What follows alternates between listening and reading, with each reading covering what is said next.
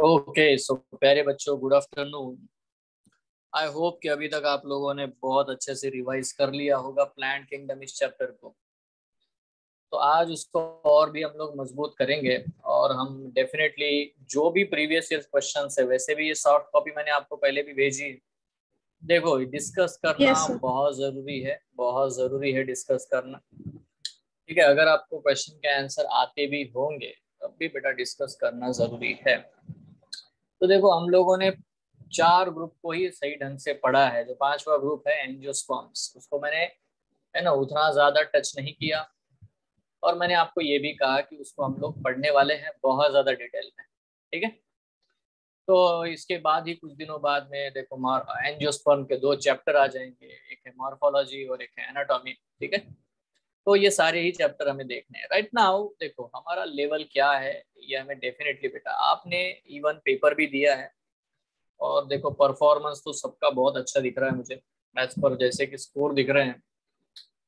ठीक है सो so, बहुत ही कॉन्फिडेंट और बढ़िया सा आपका प्रिपरेशन अभी फिर से आपका हो जाएगा। चलो let's begin an example of colonial alga ये देखो बहुत बार मैंने आपको ये वर्ड बताया है कॉलोनियल अलगी कौन कौन सा है बेटा? है ना यहाँ पे नॉर्मल पॉइंट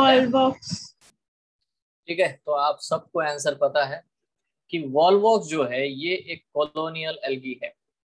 देखो मैं अगर आपको ये भी पूछूँ कि वॉलवॉक्स ये जो है उसमें उसका जो कॉलोनी होती है उसको हम क्या कहते हैं? तो हम सबको याद है यार called as what the coenobium now Ulothrix filamentous होता है स्पायरोगायरा फिलामेंटस होता है क्लोरेला यूनिसेलुलर होता है। अब मज़ेदार बात यह है कि वॉलवॉक्स भी यूनिसेलुलर होते हैं। मज़ेदार बात तो ये है वॉलवॉक्स भी यूनिसेलुलर होते हैं, पता है आपको? सारे वॉलवॉक्स जो है, वो एक इंडिविजुअल यूनिसेलुलर होता है। बट वो कॉलोनी बना करके रहते हैं। जैसे कि साइनोबैक्टीरिया भी, ठीक है यूनिसेलुलर ही होते हैं। ठीक है? और एनाबेना भी साइनोबैक्टीरिया जो है नास्टक ये यूनिसेलुलर बट वो भी कॉलोनीज बनाते हैं। Now second male gametes are flagellated अब यहाँ पे देखो ये चीज़ मैंने इतनी बार बताई ना आपको कि एक बात बिल्कुल दिमाग में बिठा के रखना कि स्पायरो गायरा डू नॉट हैव है ना मोटाइल गैमेट बिल्कुल सही है। तो यहाँ पे पहला आपका रिजेक्ट हो जाएगा स्पायरो गायरा खत्म। काम ही खत्म हो गया। ना दूसरी चीज़ ये भी बताई मैंने रेड एलगी में कहीं पे भी कोई भी मोटाइल स्टेज होती नहीं है। और पोपो जीजी आपको दिखाया जा रहा था पॉलिसिफोनिया में। बिल्कुल चांस नहीं गया। अब बचे दो ही। दो ही बचे हैं तो देखो यहाँ पे सबसे बढ़िया बात है। यहाँ आपके पास एनाबेना दिखाई दे रहा है। एनोबेना एक्चुअली एलगी ही नहीं है ये साइनोबैक्टीरिया है। इट इज़ एन साइनोबैक्टीरिया ठीक है?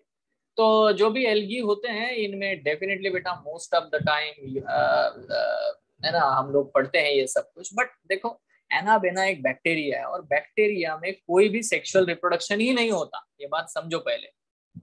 किंगडम मोनेरा में सेक्सुअल रिप्रोडक्शन है ही नहीं।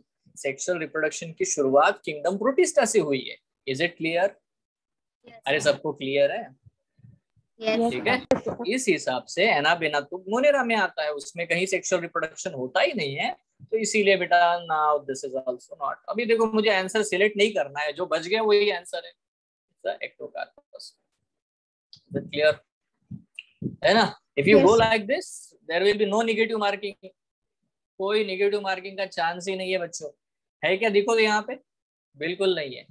मैंने यहाँ पे भी यही कहा यूरोथ्रिक्स फिलामेंटस है स्पायरोगेरा फिलामेंटस है क्लोरेला यूनिसेलुलर है ओके वॉलवॉक्स कॉलोनियल है। Let's do this this is very simple again which one of the following statement is wrong? अभी wrong क्या है भाई? Agar agar is obtained from gelidium and gracilaria. ये बिल्कुल सही स्टेटमेंट है यार। है। ना? दूसरा Chlorella and Spirulina are used as a space food ये भी बिल्कुल सही स्टेटमेंट है। Mannitol is stored food in the Rhodophyceae बिल्कुल ये बेटा आपको दिख रहा है कि रोडोफाइसी में क्लोरिडियन स्टार्च होता है ना जो कि ग्लाइकोजेन जैसा या अमाइलोपेक्टिन जैसा होता है। तो मैनिटॉल सीओफाइसी का स्टोरेज मटेरियल है। तो ये तो बेटा हमारे लिए बिल्कुल रॉन्ग है। फिर भी हम ऑप्शन डी देखेंगे। Algin and carrageenan are products of the algae ये भी बिल्कुल सही है। तो इसके लिए हमारा आंसर बेटा सी है क्योंकि उन्होंने पूछा ये which one is wrong wrong तो ये है। ठीक है यहाँ स्टेटमेंट होना चाहिए था mannitol is stored food in Phaeophyceae ठीक है? Brown algae right now we are moving ahead C again which one of the following shows isogamy with non flagellated gametes right now अगर आपको ये चीज़ आपको याद आती होगी आई आइस यस तो S is S is Spirogyra Spirogyra और बेटा स्पायरोगायरा में आइसोगैमी होती है वो चीज़ लिखी है यहाँ पे shows isogamy. But non flagellated फिर एक बार Spirogyra do not have any motile बिल्कुल है ना गैमेट बिल्कुल तो हमारा आंसर बेटा डी है। खत्म बात। है ना? स्टिक टू द पॉइंट्स बिल्कुल क्लियर रहो आपको आंसर आएगा ही आएगा मार्क्स आएँगे ही आएँगे। अच्छा अब हमें करना क्या है? हमें नोटिस करना है यार एक्टोकार्पस में क्या होता है? तो यहाँ पे एक्टोकार्पस आपके सामने है। एक्टोकार्पस में भी आइसोगैमी होती है बट क्या होता है बेटा? इसका आंसर उन्होंने इधर दिया हुआ है। उसके मोटाइल फ्लैजिलेटेड गैमिट होता है। यस और नो है कि नहीं? 2015 में आपको चीज़ देखने को मिलती है तो है। ओके एक्टोकार्पस में तो हो गया। इसका मतलब ये हमारा आंसर क्यों नहीं है? हमें समझ में आता है।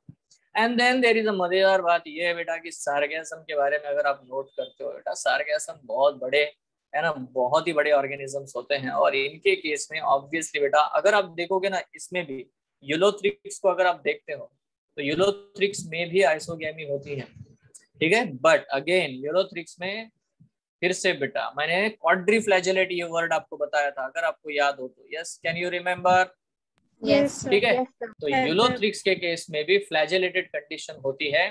तो यूलोथ्रिक्स के बारे में भी मैंने बताया था कि यस इसमें भी आइसोगैमी है बट फ्लैजेलेटेड है। इसमें भी आइसोगैमी है बट फ्लैजेलेटेड है।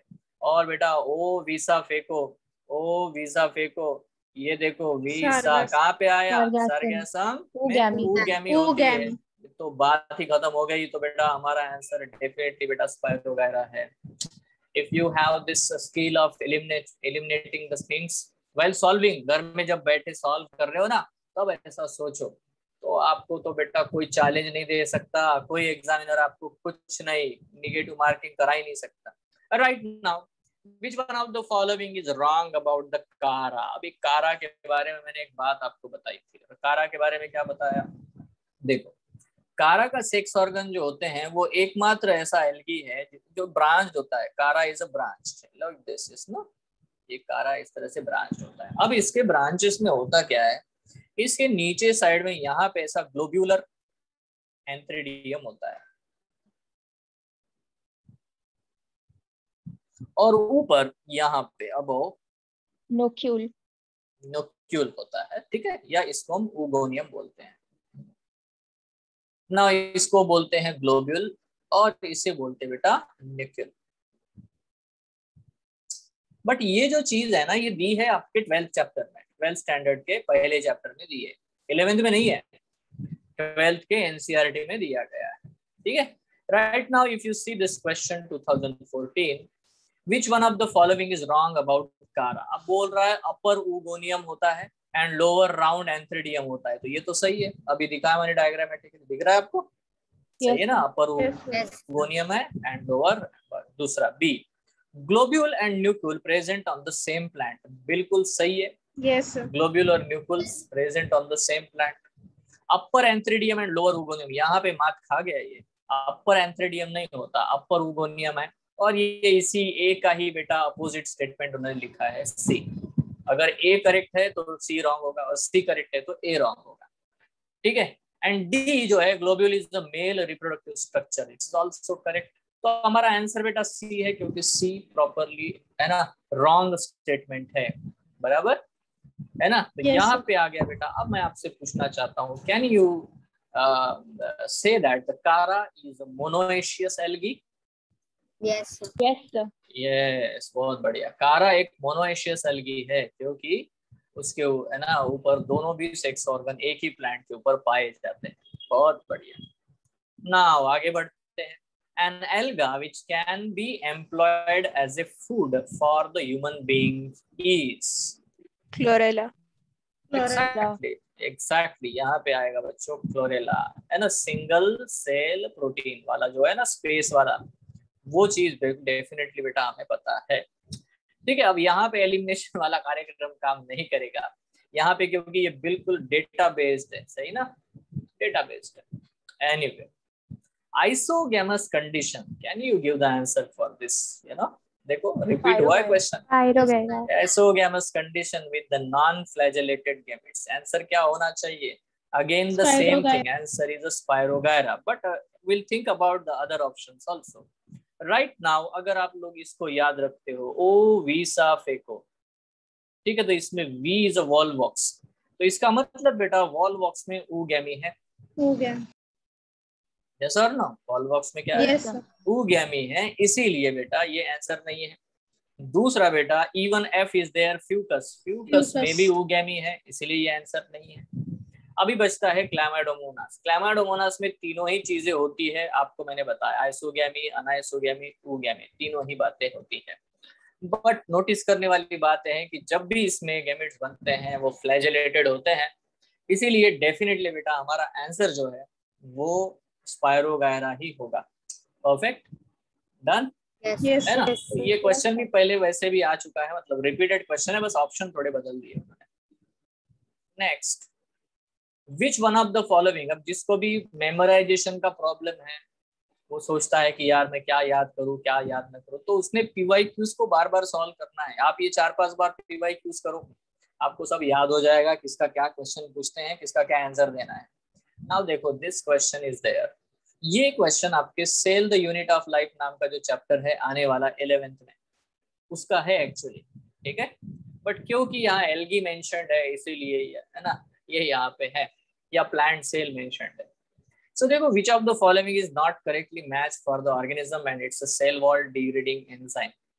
देखो एंजाइम को हमेशा हम एज लगाते हैं। ए या सी रहेगा तो एंजाइम है।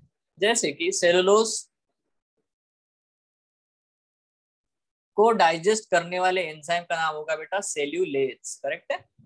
लोज लेज ठीक है?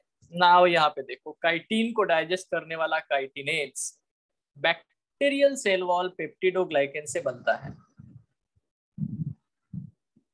ठीक है? तो ये जो पेप्टिडोग्लाइकेन है मेरे प्यारे बच्चों, इसको डाइजेस्ट किया जाता है बाय द एंजाइम लाइजोजाइम आपके आँसू जो है, आँसू, अश्रु, धारा, उनमें भी बेटा है ना टीयर जिसको बोलते हैं लैक्रिमल ग्लैंड से रिलीज़ होता है, उसमें भी लाइजोजाइम होता है। लाइजोजाइम याद रखना, बैक्टीरिया के सेल वॉल को डाइजेस्ट करता है। I repeat lysozyme bacterial cell wall को डाइजेस्ट करता है। I repeat again lysozyme bacterial cell wall को डाइजेस्ट करता है। तो बेटा D is correct C is correct A is correct क्योंकि A plant cell is made up of cellulose तो सेलुलोज से डाइजेस्ट करेंगे तो सही है। ये भी सही है, ये भी सही है, ये गलत है भाई। है ना? मिथाइलेज क्या होता है? मिथेन उसको है ना? तो इसके एलगी के सेल वॉल में सेलुलोज है तो सेलुलोज तो चाहिए पेक्टिनेज चाहिए ठीक है? इसीलिए ये जो है बेटा गलत है। पक्का? So it's not correctly matched so we learn from the question और मैं सबको ये बताता हूँ कि पेपर देने से कभी हिचकिचाना मत। Give the paper don't think about the score think about every question and every option that's it ठीक है मैंने एक काम किया था बैट्रेचोस्पर्मम वाला क्वेश्चन डाल दिया था। ऐसे उड़ते उड़ते बोल दिया था मैंने क्लास में अरे एक होता है है ना जो ना, मिलता है बैट्रेचोस्पर्मम लाइक दैट बट मैंने डाल दिया क्वेश्चन आपने देखा नोटिस किया क्या? है ना? यस सो आप देखोगे which one of the following is wrongly matched अरे which one of the following is wrongly matched बताओ कौन रॉन्गली मैच्ड आप तो बता ही सकते। हैं वाटर ब्लूम्स करते हैं स्पायर वगैरह देखो एक चीज़ आपको पता है छोटा सा पॉइंट उसमें मोटाइल गेमिट नहीं बनते। दैट्स इट तो आंसर आ गया। बिना सोचे समझे कुछ भी सोचना नहीं है। है ना? सो so, देखो यहाँ पे देखो बैसिडियोमाइसिटिस को पब बॉल फंगस कहते हैं मशरूम्स कहते हैं ब्रैकेट नेक्स्ट फंजा कहते हैं बहुत सारे नाम है उनको। तो ये तो सही है यार ये सही है ये भी सही है है ना सर गया some you know brown L A B C D मैंने बोला था आपको याद कर लो A B C D yes Nostoc बिल्कुल बिल्कुल वाटर ब्लूम्स कॉज कराते हैं सो ऑब्वियसली बेटा ऑप्शन बी इज़ करेक्ट ठीक है मतलब wrongly matched algae have a cell wall again ये बेटा सेल इसी चैप्टर का सेल आपका जो चैप्टर है cell the unit of life in eleventh उसी का बेटा ये क्वेश्चन है। आप अगर देखोगे सही ढंग से तो हेमी सेलुलोज ये जो कंपोनेंट है, वो प्लांट सेल होते हैं हाइयर उनके ही सेल वॉल में पाया जाता है। हेमी सेलुलोज एक बहुत ही इंपॉर्टेंट कंपोनेंट है प्लांट सेल का बट जिम्नोस्पर्म्स में एंजियोस्पर्म्स में, इनके सेल वॉल में आपको ये देखने को मिलेगा। ठीक है बट इवन टेरिडोफाइट्स में भी। तो यहाँ पे जहाँ जहाँ हेमी सेलुलोज लिखा हुआ है, वो एलगी में तो मिलता नहीं है, इसीलिए ये दोनों ऑप्शन गलत है। अब बचता है बेटा पेक्टिन सेलुलोज एंड प्रोटीन्स और दूसरा बेटा सेलुलोज गैलेक्टन्स एंड मैनन्स तो देखो यहाँ पे आप अगार अगार जो एल्जिन वगैरह बोलते हो तो इनमें गैलेक्टन्स और मैनन्स ठीक है? गैलेक्टोज मैनोज ये एक्चुअली शुगर है ना? कंपोनेंट है, उनके जो पॉलीसेकेराइड बनते हैं, उनको हम लोग गैलेक्टन्स मैनन्स बोलते हैं। तो एक, ये बिल्कुल हमारे एनसीईआरटी में दिया गया है स्टेटमेंट अगर अभी भी आपके पास में सेल नाम का जो चैप्टर अगर है और उसका अगर बेटा आपके पास में I will I will show you this one this I will I see this one. ठीक है, see this is what the cell envelope and all the things are there. Here, this is the cell chapter of your NCRT ये आपके बेटा NCRT का cell chapter है, आप इसमें देख सकते हो। ठीक है, यहाँ पे सेल का स्ट्रक्चर दिया गया है, ये भी आप देख सकते हो। थोड़ा थोड़ा थोड़ा समय लगा रहा है upload but if you see यहाँ पे अगर आप देखोगे सेल मेम्ब्रेन्स के बारे में तो सेल मेम्ब्रेन के बारे में बहुत सारी चीज़ें लिखी गई है आपकी एनसीईआरटी के टेक्स्ट बुक में। राइट right नाउ देखो, यहाँ पे ये सब कुछ लिखा है सेल सेल बट अगर हम सेल वॉल पे आते हैं, ये देखो सेल वॉल है। अब ये एनसीईआरटी में लिखा हुआ है, यहाँ पे आपको देखने को मिलेगा। ठीक है I will show you algae ये देखो algae have cell wall made up of cellulose galactans mannans and minerals like calcium carbonate. While in other plants, it consists of cellulose, they hemicellulose, pectins and proteins. Proteins भी होते हैं cell wall में. Now this is written in your NCERT. But देखो ये किस plant से related है algae से रिलेटेड है बाकी के भी प्लांट से रिलेटेड है सबसे रिलेटेड है। तो if you see this one if you understand this you know this is the way the study required to get the 360 out of 360 marks. और सबसे इंपॉर्टेंट बात है देखो ना बेटा कैसे एनसीईआरटी से ही डायरेक्ट क्वेश्चन आता है। है ना? तो आप पहले क्या पढ़ोगे भाई? हुँ? हम्म? क्या पढ़ोगे? एनसीईआरटी सही ढंग से पढ़ो ना। दैट्स इट मैं आपको दिखाना चाहता था और ये देखो, अगर आप देखो, यहाँ पे बच्चों पेज नंबर के साथ बेटा पेज नंबर ये देखो, ये है आपका नया, बिल्कुल नया वर्जन है। ठीक है, ये आपका देखो बायोलॉजी ये देखो page number 132 of the cell इस चैप्टर से बेटा क्वेश्चन आया है।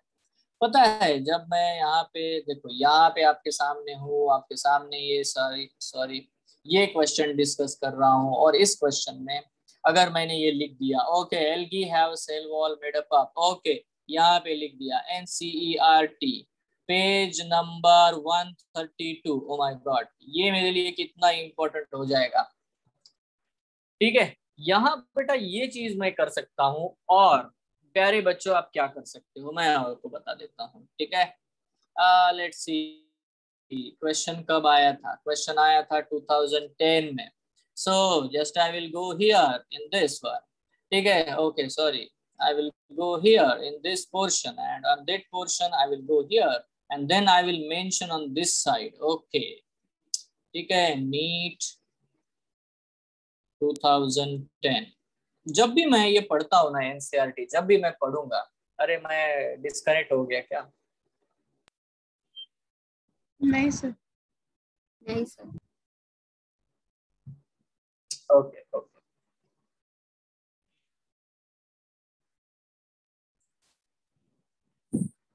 डिस्कनेक्ट नहीं हुआ ना? हाँ। नहीं सर। देखो नीट मैंने क्या किया जो स्टेटमेंट है ना उस स्टेटमेंट के सामने लिखा हाँ ये देखो। इसके इस स्टेटमेंट के ऊपर मैंने यहाँ को इसको अंडरलाइन कर दिया ऐसे किया। Cellulose galactans mannans minerals like calcium carbonate now आपको पता है यहाँ दो चीज़ें हैं। एक एक तो क्वेश्चन क्या आया था? दूसरा एक और चीज़। क्वेश्चन क्या आ सकता है? नाउ क्वेश्चन आ सकता है कि उन्होंने क्या चीज़ मिस कर दी? क्या चीज़ मिस करी किसने बताएगा? देखो minerals like calcium carbon minerals like calcium this is what the yes this is the possible question another possible question here कि एल्गी के सेल वॉल में है ना कौन सा कंपोनेंट नहीं मिलेगा? है ना? सेलुलोज पेक्टिन्स गैलेक्टन्स हेमीसेलुलोज आप क्या बताओगे इन चारों में से कौन सा नहीं मिलेगा? Definitely beta exactly this will be not there in the now देखो दो क्वेश्चन मैंने सोच लिए। If I will do this way देखो मेरे तो हर बच्चा बेटा हर बच्चा 360 में से 360 लाएगा। बिल्कुल अगर आप ये करते हो तो। आगे बढ़ते हैं मेरे प्यारे बच्चों। है ना? आपके अंदर कॉन्फिडेंस ज़रूर आ जाता है इतना।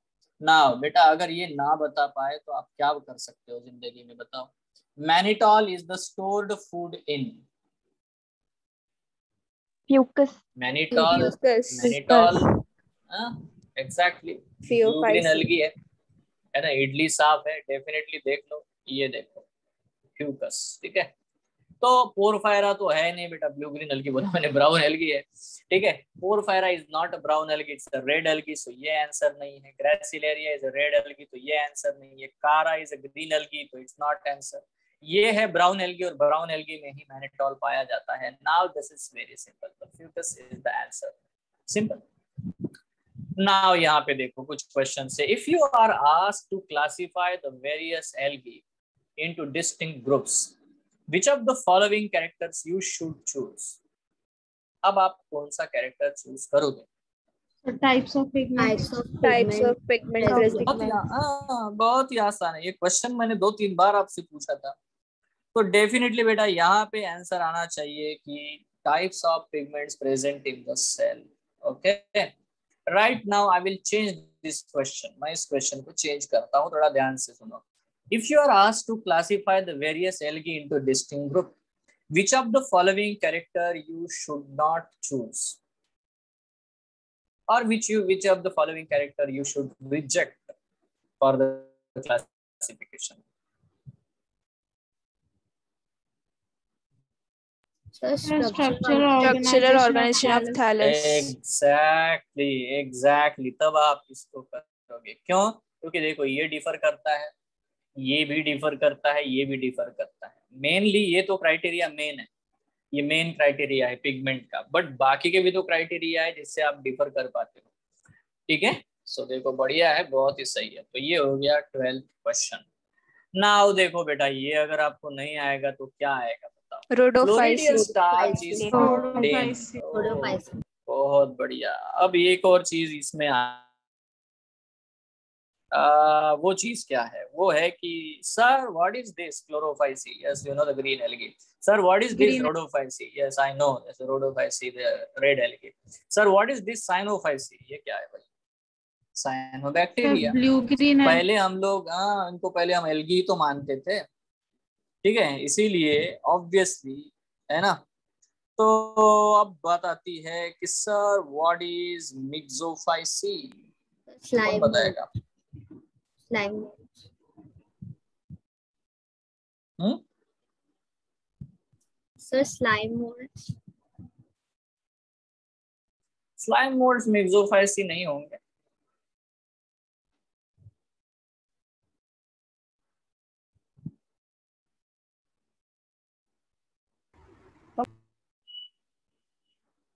बताओ। Anyone have the idea what is mixophacy hmm? पता है आपको? है। Simply just I have to understand that you know mixing colour mixing होता है ब्लू ग्रीन है ना? अगर यहाँ पे हम लोग देखोगे तो यहाँ साइनोफाइसी को ही हम लोग मिक्सोफाइसी कहते हैं। कोई चीज़ अलग नहीं है वो। समझ रहे हो आप लोग? हम्म? बट कुछ ग्रुप है साइनोबैक्टीरिया के ही जिनको हम लोग मिक्सोफाइसी में डाल के रखा था। ठीक है? So be careful about this it's not different then the cyanobacteria और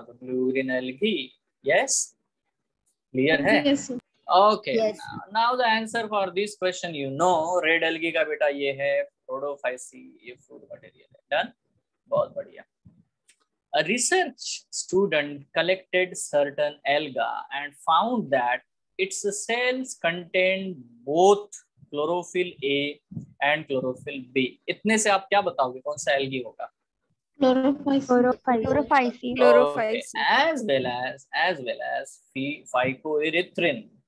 अब बताओ कौन सा एलगी होगा? So the alga belongs to what the alga belongs to Sir, chlorophyll. बताओ A. Rhodophyce.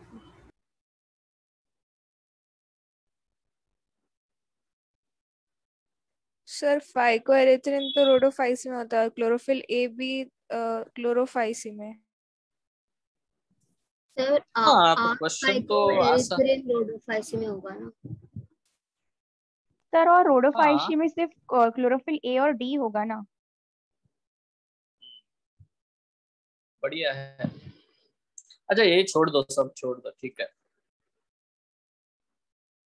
ये जो है ना, ये नाम यहाँ पे लिखा हुआ है।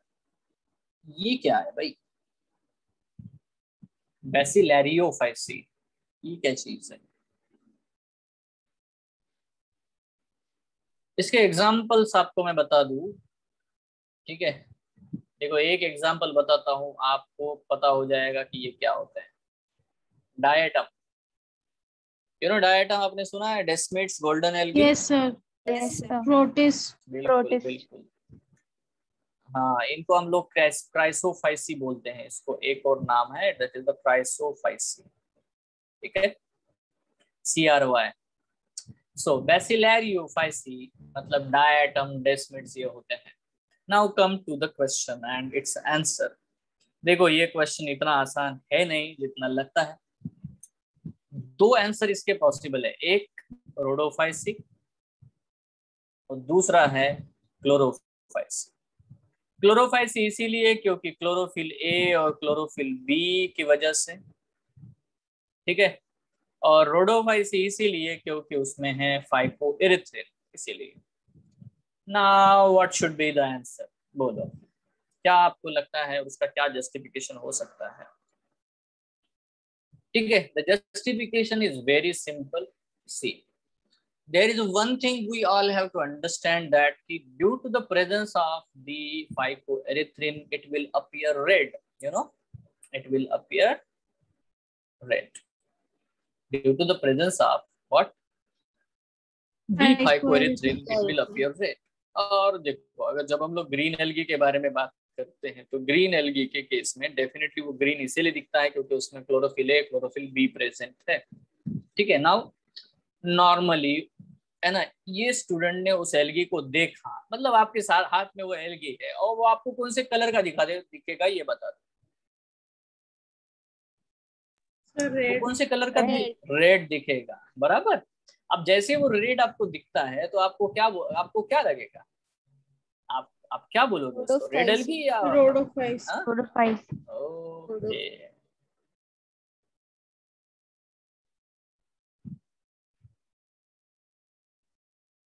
तो देखो यहाँ पे हम लोग डेफिनेटली क्योंकि उसके अपीयरेंस बाद में एनालिसिस में थोड़ा गड़बड़ा जाएँगे हम लोग क्योंकि उसके अपीयरेंस से वो रेट दिखेगा इसीलिए हम लोग ये आंसर मार्क करेंगे रोडोफाइसी यस एवरीवन क्लियर है? कोई कंफ्यूजन तो नहीं है? यस ठीक है? तो इसको देखो, बोलते हैं बहुत ही जेन्युइनली मतलब आपको डिसीज़न लेना पड़ेगा। क्योंकि एक स्टूडेंट है ये।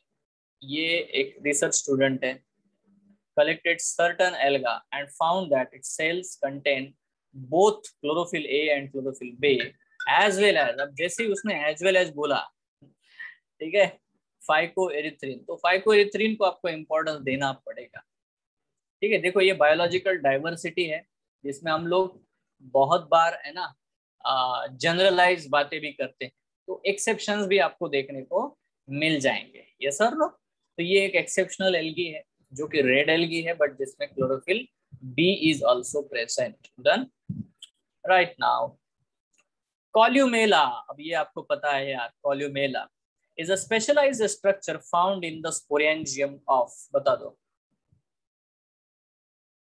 None of these देखो, नन ऑफ़ दीज तो आंसर नहीं है, क्योंकि देखो, ये जो यूलोथ्रिक्स होते हैं, ठीक है?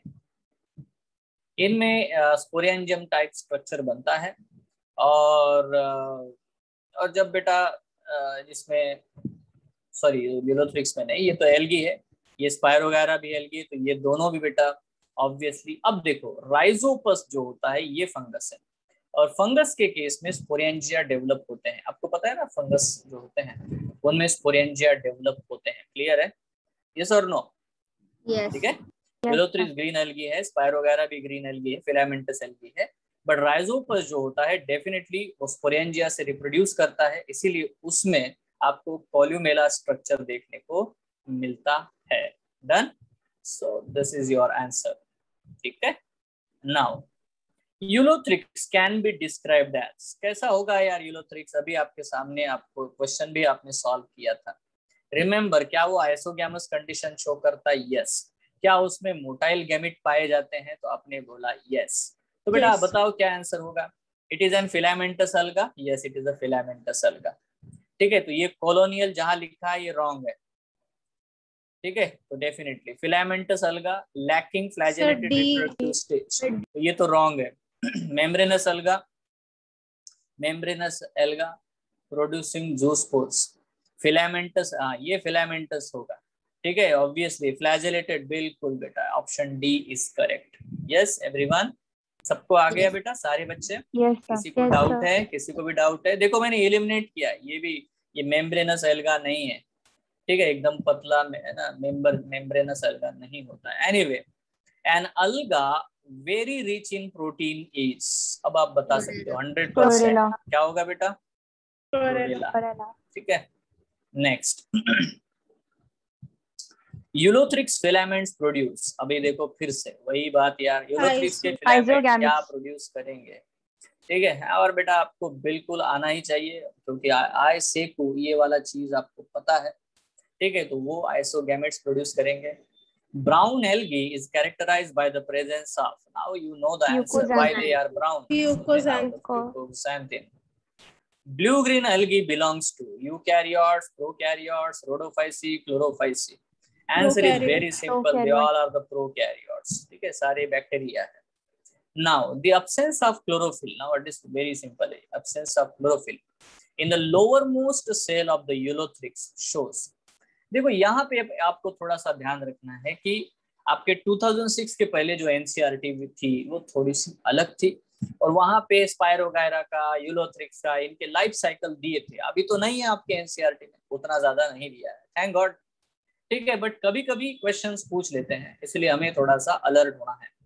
नाउ यहाँ पे आता है the of chlorophyll in the lower most cells of the ulothrix अगर हम यूलोथ्रिक्स को ड्रॉ करते हैं, ये फिलामेंटस है, और यहाँ पे बेटा आपको दिखाई देगा, इसके जो लोअर मोस्ट सेल्स है, ये वाले सारे ग्रीन है, ये ग्रीन है, ये ग्रीन है बट यहाँ जो लोअर मोस्ट सेल्स है, ये नॉन ग्रीन होते हैं।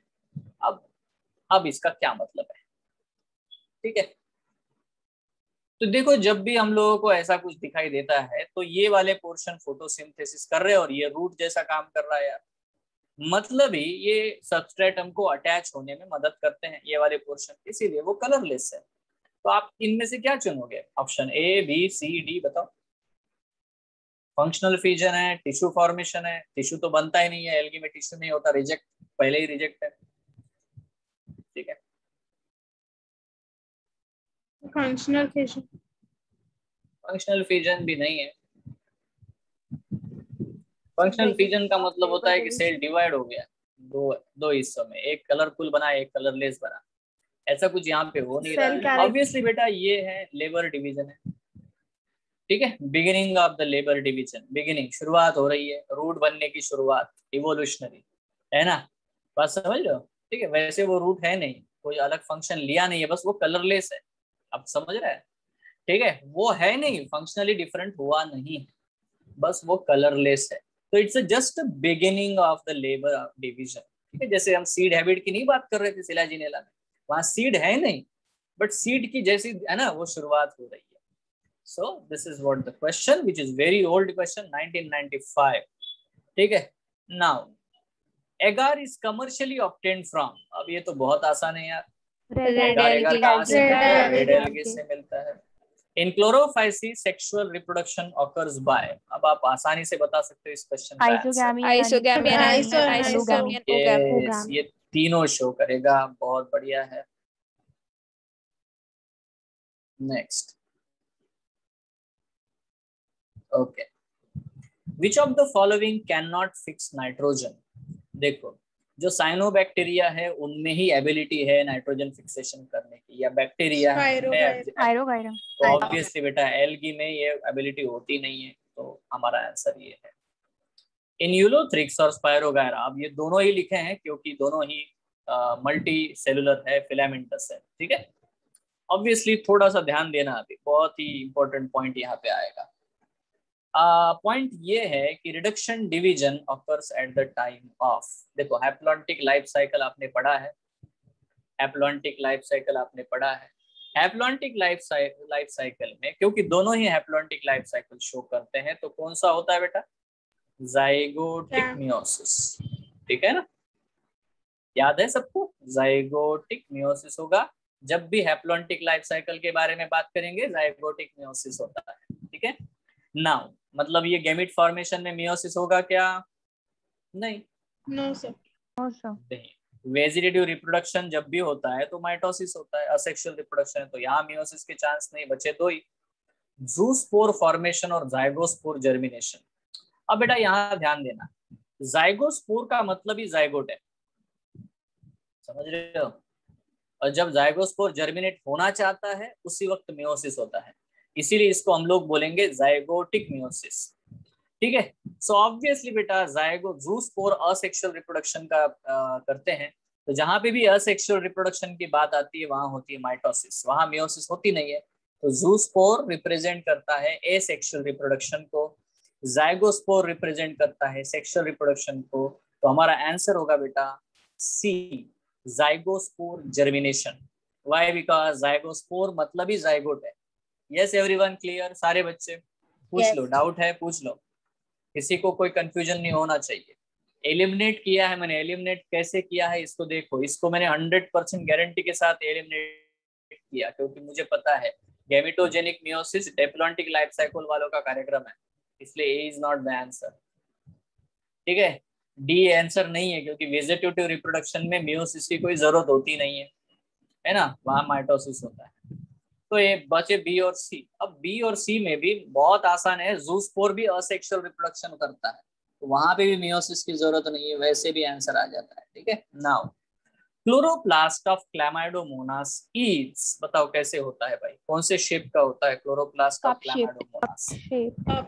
है ना? सब लोगों ने देखा है। है ना? स्माइली जैसा दिखता है यार वो। है कि नहीं? ये ऐसा बस इतना है कि उस स्माइली को थोड़े से दो कहाँ है है ज़्यादा से। इस तरह से सो यू नो इट है ना so the answer for this question is obviously है ना बट नाउ यहाँ पे ये कहानी खत्म नहीं होती बच्चों। कहानी यहाँ तो शुरू हो जाती है। शुरू क्यों होती है?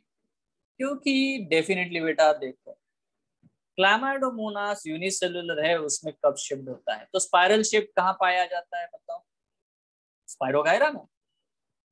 ठीक है? तो आपको तो ये वाला पता है, ये वाला ऐसा क्लोरोप्लास्ट कहाँ मिलता है? नाउ देखो यहाँ पे बेटा यूलोथ्रिक्स जो होता है, उसमें कॉलर जैसा होता है, कॉलर शेप ठीक है, या कॉइल्ड रिबन जैसे होते हैं, वैसा आपको बेटा यूलोथ्रिक्स में देखने को मिलता है। ठीक है, और स्टिलेट जो होता है, देखो, इसका एग्ज़ाम्पल आपकी एनसीआरटी में नहीं है। So will just leave here मैं आपको बोलूँगा कि आप इसके ऊपर थोड़ा सा गूगल बाजी करो आप लोग, है ना? थोड़ा सा ढूंढो स्टिलेट उसका डायग्राम देखो, उसका बेटा एग्ज़ाम्पल देखो, ठीक है? तो that is what the work you have to do to remember the things क्योंकि ये है जो आपके एनसीआरटी में, है ना? मतलब जो एग्ज़ाम्पल है वो दिया नहीं है। So anyway the point is very simple cup shape spiral shape collar shape chlamydomona spirogyra ulothrix तीनों बेटा आपके एग्ज़ाम्पल दिए गए हैं। Now question number twenty seven अगर ये आप जवाब न दे पाए तो क्या मतलब है? देखो pyrenoids are the centres for the formation of क्या बनेगा बेटा वहाँ पे? ठीक है? बहुत बढ़िया। Now the product of conjugation in spirogyra और fertilization of chlamydomonas is obviously बेटा जब भी कॉन्जुगेशन होता है या फर्टिलाइजेशन होता है तो उससे एक चीज़ बनती है जिसको हम लोग बोलते हैं जाइगोट और जायगोट के ऊपर अगर थिक कोटिंग, देखो ये जायगोट बना, जायगोट के ऊपर थिक कोटिंग आ जाएगी, तब इसको मैं बोलता हूँ जाइगोस्पोर देखो याद रखना, जायगोस्पोर मतलब ही जायगोट है, ठीक है? अब यहाँ पे एक वर्ड आया है जिसको समझना हमारे लिए बहुत ज़रूरी है, और वो क्या है मैं आपको दिखा देता हूँ। ये है बेटा स्पायरोगायरा, ये स्पायरोगायरा है। मेरे प्यारे बच्चों, थोड़ा ध्यान देना, मैं यहाँ पे कुछ चीज़ें आपसे शेयर करना चाहूँगा। देखो बेटा, ये एक स्पायरोगायरा है, बड़ा ध्यान से देख लो, ये स्पायरोगायरा है। स्पायरोगायरा में यहाँ एक सेल है, यहाँ एक सेल है, यहाँ एक सेल है, यहाँ ये चार सेल है, इसका nucleus nucleus nucleus nucleus nucleus haploid है, सबका हैप्लॉइड न्यूक्लियस क्योंकि स्पायरोगायरा हैप्लॉइड होता है। ना होता क्या है यार, देखो, यहाँ पे हो सकता है कि ये वाला जो सेल है इसको रेड कलर से इंडिकेट कर देता हूँ। ये जो सेल है, ठीक है और उसी के बाजू में दूसरा एक सेल है, जिसको मैं ग्रीन कलर से इंडिकेट कर देता हूँ, ये वाला सेल ये क्या करते हैं? दोनों के हैप्लॉइड न्यूक्लियस है दोनों एक दूसरे के साथ कंजुगेट कर लेते हैं। है ना ऐसे कंजुगेशन मतलब कि एक सेल बन जाता है डोनर ठीक है, और एक सेल बन जाता है रेसिवर ठीक है? तो इसका हैप्लॉइड न्यूक्लियस बेटा ऐसे ट्रेवल होकर के इधर आ जाएगा और अल्टीमेटली आपको जो फिलामेंट है यहाँ पे बीच में ही एक सेल ऐसा देखने को मिलेगा जो कि टू एन बन जाता है। इसी को हम लोग जाइगोस्पोर कहते हैं। Now this is the conjugation yes is it clear इसको क्या बोलते हैं? कॉन्जुगेशन क्या हुआ? कोई गमिट नहीं बना, कुछ नहीं बना। एक्चुअली इसीलिए हम लोग बोलते हैं स्पायरो में कभी मोटाइल गमिट नहीं बनता। क्योंकि तो डायरेक्ट बेटा पास पास में ही, है ना? वो न्यूक्लियस को ट्रांसफ़र कर देते हैं और एन और एन मिला करके टू एन बना लेते हैं। That is what the simple thing we have to understand but this is not the only case in the spirogyra I will tell you another situation in the spirogyra and that is ये देखो। ये एक spirogyra का thallus है मतलब ये filament है, यहाँ पे बहुत सारे सेल है। इसी के बिल्कुल बाजू में बेटा दूसरा एक स्पायरोगायरा है। ये एक स्पायरोगायरा है मेरे प्यारे बच्चों। है ना? देखो। ना जब भी ये वेरी क्लोज अप्रोच करते हैं दोनों फिलामेंट एक दूसरे के तो होगा क्या? यहाँ पे पॉसिबिलिटी है बेटा कि इन दोनों सेल्स के बीच में देखो ये दो सेल है और ये ये जो सेल है इनके बीच में कंजुकेशन ट्यूब बन जाता है। और अगर ये पॉजिटिव और ये निगेटिव वाला रोल प्ले करेगा तो यहाँ से यहाँ पे बेटा ये हैप्लॉइड न्यूक्लियस क्योंकि सारे ही न्यूक्लियस हैप्लॉइड है उसमें भी और इसमें भी। ठीक है? तो यहाँ पे बेटा आइसोगेमी हो रही है क्योंकि दोनों सेल सेम जैसे हैं। बट न्यूक्लियस पास होगा और डेफिनेटली बेटा ब्लू वाले साइड में, है ना? क्योंकि वो रेसिपियंट है, वहाँ पे आपको बेटा जाइगोस्पोर बनते हुए दिखाई देगा। तो ये भी मेरे प्यारे बच्चों स्पायरोगैरा में आपको देखने को मिलता है। Within a filament and between the filament within a filament and between the filament conjugation clear है क्या? यस यस सर क्लियर है? है ना? तो आपको ये भी पूछेंगे लेडर लाइक स्ट्रक्चर किसमें बनेगा? लेडर लाइक स्ट्रक्चर कंजुगेशन का। तो आप बताओगे स्पायरोगैरा में बनता है भाई? है ना? स्पायरोगैरा में बनेगा। ठीक है? एक ही थैलस में हो रहा है दो अलग अलग थैलस में हो रहा है होमोथैलिज्म हेट्रोथैलिज्म ये भी बेटा चीज़ें आपको देखने को मिलती है। ऑब्वियसली बहुत ही आसान है ये। चलो तो कॉन्जुगेशन आपको जैसे बैक्टीरिया में देखने को मिलता है वैसा ही कॉन्जुगेशन मेरे प्यारे बच्चों आपको स्पायरोगैरा में भी देखने को मिलता है। Right now we are into the question so किधर गया क्वेश्चन ओके okay, तो यहाँ पे जो उन्होंने मेंशन किया है the product of conjugation in the spirogyra so definitely बेटा आंसर आएगा। अभी हम लोग थोड़ा स्पीड बढ़ा देंगे। ठीक है? Now the common mode of sexual reproduction in chlamydomonas is बताओ। अब बेटा आप बता सकते हो कॉमनली जो सेक्सुअल रिप्रोडक्शन होता है इन क्लामाइडोमोनास वो कैसा होता होगा? देखो। देखो ये जो है ना अनाइसोगेमी ओगेमी ये उनमें होता है क्लाइमेडोमोनास में। ठीक है? बट होता क्या है कि ये वाली चीज़ जो है उसमें मोस्ट कॉमन होती है। इसीलिए हमारा आंसर जो है वो ए होना चाहिए ठीक है? ठीक है? तो इसमें होता Yes. क्या है बेटा? एक थोड़ा सा होलोगैमस का मतलब क्या है? जैसे होलोगैमस का मतलब ये भी हो सकता है जैसे आप लोग जैसे मैंने बताया दो सेल है यार दोनों के दोनों सेल एक दूसरे से फ्यूज हो रहे हैं ठीक है? या दो क्लाइमाडोमोनास है दोनों क्लाइमाडोमोनास एक दूसरे के साथ फ्यूज हो गए। ये भी एक्चुअली आइसोगैमी होती है सॉरी होलोगैमस कंडीशन भी बेटा आइसोगैमी ही होती है। क्योंकि तो दो क्लाइमाडोमोनास एक दूसरे के साथ फ्यूज हो जाते हैं। बट ये एक one of the type of isogamy है। इसीलिए हम लोग आंसर ए लिखेंगे। ठीक है? हम लोग आंसर ए क्यों लिख रहे हैं? होलोगैमस भी आइसोगैमी का ही एग्ज़ाम्पल है मेरे प्यारे बच्चों। है ना? दो यंग सेल जो है यूनिसेलुलर सेल एक दूसरे से फ्यूज हो जाते हैं। ठीक है? But most common mode is what the isogamy तो है ना होलोगैमस कंडीशन हमेशा ही आइसोगैमी हो यह ज़रूरी नहीं है ठीक है? सो दैट्स इट इसीलिए एवरीवन क्लियर किसी को कोई कंफ्यूजन है? Yes, ओके नाउ बताओ sexual reproduction involving fusion of two cells in chlamydomonas is ठीक है फिर से वही बात है। आइसोगैमी ही कहते हैं उसमें ठीक है? उसको भी बेटा हम लोग आइसोगैमी ही कहते हैं।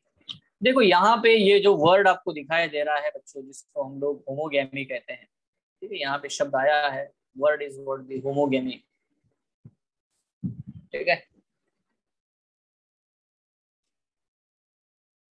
देखो होमोगेमेट का मतलब होता है कि जब एक जैसे गैमेट प्रोड्यूस होते हैं, उनको होमोगैमेट कंडीशन कहते हैं।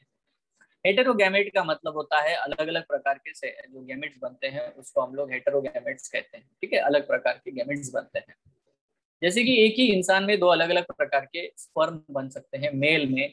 Male can produce the sperm with the X and the sperm with the Y chromosome correct है कि नहीं? तो होमोगैमी और हेटेरोगैमी ये जो ये जो वर्ड आते हैं ना, कि एक इंडिविजुअल कितने प्रकार के गैमेट बना सकता है?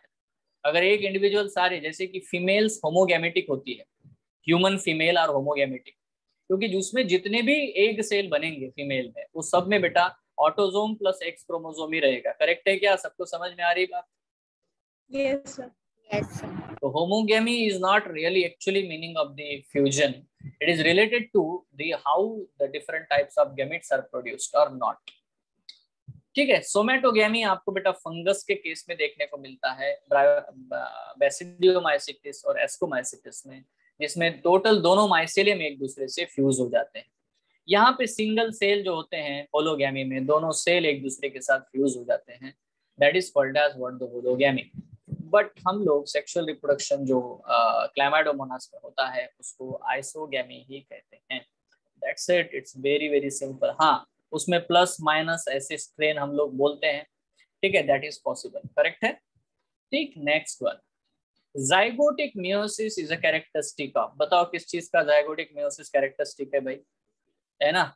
अब आप तो बता सकते हो। क्लामाइडोमोनास फ्यूकस का तो नहीं है फ्यूनारिया का नहीं है मर्केंशिया का नहीं है क्लामाइडोमोनास क्योंकि हैप्लोन्टिक लाइफ साइकिल इसी में होती है। Life cycle of the ectocarpus and fucus respectively ectocarpus और फ्यूकस ये दोनों एक्सेप्शन है। फ्यूकस का लाइफ साइकिल डिप्लॉन्टिक होता है एक्टोकार्पस का लाइफ साइकिल कैसा होता है? Haplodiploid. होता है।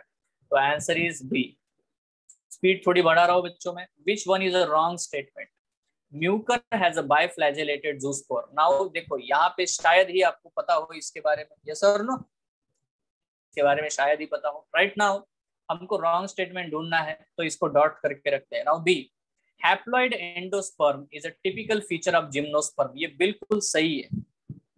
उसमें हैप्लॉइड एंडोस्पर्म बनता है जिम्नोस्पर्म्स में। ये हमने पढ़ा है। Brown algae have a chlorophyll A and C and fucoxanthin ये भी एग्जैक्टली exactly सही है। True है, sir. Archegonia are found in bryophyta pteridophyta and gymnosperm ये भी सही है। है ना? फीमेल सेक्स ऑर्गन तीनों के में बेटा आर्किगोनिया होता है। अब आप नोटिस करो कि मैंने इसको अंडरलाइन करके रखा। मुझे नहीं पता शायद इसके बारे में। And the answer is A although i don't know what is ना? A but right now I understand that okay mucor has a biflagellated zoospore मैं आपको एक मज़ेदार बात। अगर आपको कोई भी ये पूछे कि आप ऐसे तीन एग्ज़ाम्पल बताओ जिनमें कॉन्जुकेशन होता है ठीक है? तो you will be amaze that the answers are number one bacteria number two spirogyra number three mucor बेटा जिसमें भी कंजुगेशन होता है उसमें बायफ्लैजेलेटेड जूस्पोर बनाने की ज़रूरत है क्या? सर है ना? सर तो मोटाइल कंडीशन जो होते हैं जो देखो मैं आपको ये बता दूँ कि फाइकोमाइसिटिस में जितने भी ऑर्गेनिजम्स आपको देखने को मिलते हैं, ठीक है? उनके केसेस में आप लोगों को अलग अलग वेरिएशन देखने को मिलते हैं। मतलब कोई जाइगोमाइसिटिस से बिलोंग करता है, कोई oomaisitis से बिलोंग करता है, ठीक है? तो इस केसेस में mucor is an example of the conjugation और उसमें बायफ्लैजेलेटेड जूस्पोर्स प्रोड्यूस नहीं होते। That is the simple condition they produce the uh planospores वो क्या प्रोड्यूस करते हैं? Uh planospores that's it simple पक्का now let's move ahead which of the following is responsible for the peat formation bog peat किससे बनता है Sphagnum. Sphagnum. sphagnum which one of the following is common to the multicellular fungi filamentous algae and protonema of mars है ना? तीनों क्या कर सकते हैं? वो फ्रेगमेंटेशन कर सकते हैं बाकी कुछ नहीं हो सकता। मोड ऑफ़ न्यूट्रिशन तीनों का डिफर करता है। खास करके फंजाई सेप्रोट्रॉफिक होते हैं। मेंबर ऑफ़ किंगडम प्लांटी नहीं है ये फंगस है। डिप्लॉन्टिक लाइफ साइकिल नहीं है फिलामेंटस अलगे हैप्लॉन्टिक लाइफ साइकिल शो करते हैं। तो बेटा है ना? ऑप्शन डी इज़ करेक्ट कि वो तीनों क्योंकि फिलामेंटस है तो कम से कम वो फ्रेगमेंटेशन तो कर ही सकते हैं। ठीक है? So it's a very simple question and simple answer right now examine the figure given below and select the right option given. All of ये तो बहुत ही बेटा आसान क्वेश्चन है। इसको देखते ही आप समझ जाओगे कि ये सब कुछ बेटा फीमेल थैलस है. आर्किगोनियोफोर है आर्किगोनिया है और ये जो बेटा ग्रीन कलर के कप होते हैं इनको कप बोलते हैं ठीक है? तो यही हमारा आंसर है आर्किगोनियोफोर है फीमेल थैलस है गेमी कप है राइजोइड्स Rhizoid. है ठीक है? नेक्स्ट वन चलेगा इतनी स्पीड सब. बच्चे कोई किसी को इशू है? Okay archegoniophore is present in again बिल्कुल फालतू क्वेश्चन है। फोर जो है आर्किगोनिया कहाँ पे प्रेजेंट है? या तो सब में है इसमें भी है है ना? फ्यूनारिया में भी है एडियंटम में भी आर्किगोनिया होता है but archegoniophore is present only in what the marchantia chara में क्या प्रेजेंट है? उगोनियम प्रेजेंट होता है। कारा इज़ एल्गी ठीक है? नाउ देखो ये अलग सा क्वेश्चन है। सम हाइपर थर्मोफिलिक ऑर्गेनिजम्स अभी hyper thermophilic that grows in highly acidic habitat belong to the two groups देखो सिर्फ़ सिर्फ़ और सिर्फ़ बेटा आर्किया ही ऐसा ग्रुप है जिसमें ऐसे ऑर्गेनिजम्स है जो बहुत ज़्यादा एसिडिक कंडीशन में रह सकते हैं। और कुछ आपको बैक्टीरिया भी मिलेंगे। तो इसीलिए आंसर ये होगा बट ये क्वेश्चन डेफिनेटली बेटा बायोलॉजिकल क्लासिफिकेशन इस चैप्टर का है। Right now. Spore dissemination in some liver words is added by अब देखो लिवर वर्ड्स में मैंने आपको ये वर्ड समझाया एलेटर्स. ठीक है? मैंने सारे शब्द इसमें से समझा इंडोशियम क्या होता है पेरिस्टोम टिप क्या होता है कैलिप्ट्रा क्या होता है ऑल द वर्ड्स ठीक है? Now in a moss the sporophyte. देखो मॉस में जो स्पोरोफाइट होता है आपको तो पता है वो कैसा होता है। Is a partially parasitic on the gametophyte. उसको सेमी पैरासिटिक बोला था हम लोगों ने क्योंकि उसमें ग्रीन है ना एपोफाइसिस प्रेजेंट है बराबर है ना? Sir. Yes, ठीक है तो हम लोग बाकी के ऑप्शन देख लेते हैं। ठीक है तो अगर आपको they produces gametes that give देखो स्पोरोफाइट कभी गैमेट नहीं प्रोड्यूस करता इसीलिए रॉन्ग है। Arises from the spore produce spore से तो बेटा गैमेटोफाइट ही बनता है तो यहाँ पे प्रॉब्लम है। Manufacture food for itself as well as for the gametophyte No, हाँ. ठीक है खुद के लिए बनाता है बट गैमेटोफाइट के लिए नहीं बनाता वो तो ये भी रॉन्ग है। So that D is correct ठीक है next peat moss is used as a packing material for the sending flowers and live plants to distant places because बहुत It is hygroscopic. बहुत बढ़िया है चलो the answer is hygroscopic which of the following propagates through the leaf tip leaf के tip से कौन propagate होता है walking fern Walking for adiantum Adiant. क्या नाम है उसका Adiantum. ठीक है ये चीज़ मैंने समझाई थी आपको so the answer is this one sexual reproduction in Spirogyra is an advance feature because it shows देखो यहाँ पे एक बड़ा ही मुश्किल क्वेश्चन है ये। ये 2003 का क्वेश्चन है। अभी आपको मैंने कंजुगेशन वाला कंसेप्ट समझाया। बट देखो आइसोगैमी भी होती है कंजुगेशन का भी ये बढ़िया एग्ज़ाम्पल है बट इसको मैं क्या बोलूँगा? Different size of motile sex organ यहाँ मोटाइल शब्द आया रिजेक्ट हो गया। स्पायरोगैरा में मोटाइल गैमिट मोटाइल सेक्स ये नहीं चलेगा। ठीक है? Same size of the again देखो ये भी गया। अब बचा ए और डी सिलेक्ट करो। ऑप्शन दो ही है मॉर्फोलॉजिकली डिफरेंट नहीं होते वो बिल्कुल सेम होते हैं। दो स्पायरोगैरा फिलामेंटा A एक जैसे ही होते हैं। तो ऑब्वियसली ये रिजेक्ट हो गया। मतलब देखो फिजियोलॉजिकली डिफरेंट जब एक को प्लस कहता हूँ दूसरे को मैंने क्या कह दिया? माइनस बराबर? सही बात है ना? Although they are same but एक न्यूक्लियस को ट्रांसफ़र कर रहा है एक न्यूक्लियस को रिसीव कर रहा है। तो इसीलिए फिजियोलॉजिकली मतलब फ़ंक्शन वाइज बेटा वो डिफर कर जाते हैं। दैट्स इट पक्का? है ना? बहुत बढ़िया। The antherozoids of the Funaria are now देखो फ्यूनारिया क्या होता है यार? फ्यूनारिया ब्रायोफाइट है, ठीक है? तो मोनोसिलिएटेड रॉन्ग है मल्टीसिलेटेड रॉन्ग है असिलेटेड रॉन्ग है फ्लैजिलेटेड करेक्ट है। अगर बाय फ्लैजिलेटेड लिखते ठीक है? कॉमा शेप बाय फ्लैजिलेटेड होते हैं ब्रायोफाइट के। ये हमने पढ़ा है। ठीक है? तो answer should be B done easy है ना. Yes, sir. Okay now bryophyte comprise क्या होता है बेटा ब्रायोफाइट में? स्पोरोफाइट ऑफ़ लॉन्गर ड्यूरेशन बहुत लॉन्गर ड्यूरेशन के स्पोरोफाइट होते हैं क्या नहीं? Dominant phase of gametophyte which produce spores नहीं यार। गैमेटोफाइट कभी स्पोर नहीं प्रोड्यूस करता। गैमेटोफाइट हमेशा गैमेट प्रोड्यूस करता है। Sir, D. Dominant phase of. Sporophyte which which is parasitic तो ये तो रॉन्ग है यार ये भी रॉन्ग है ठीक है फ़िलहाल इसको dot option. Small sporophyte phase and generally parasitic on बिल्कुल बेटा डी इज़ करेक्ट ये उसका पेक्युलर कैरेक्टरिस्टिक भी है which of the following is true about the bryophyte they possess archegonia बिल्कुल सही है यार they contain all chloroplast of ये भी. सही है they are thalloid बिल्कुल बेटा all of this is correct next bryophytes are dependent on water because अच्छा पानी के ऊपर वो क्यों निर्भर करते हैं उनको हम लोग हैं egg. C option. Yes, the sperms can easily reach up to egg in archegonia. है ना? Next, bryophytes can be separated from algae. क्यों?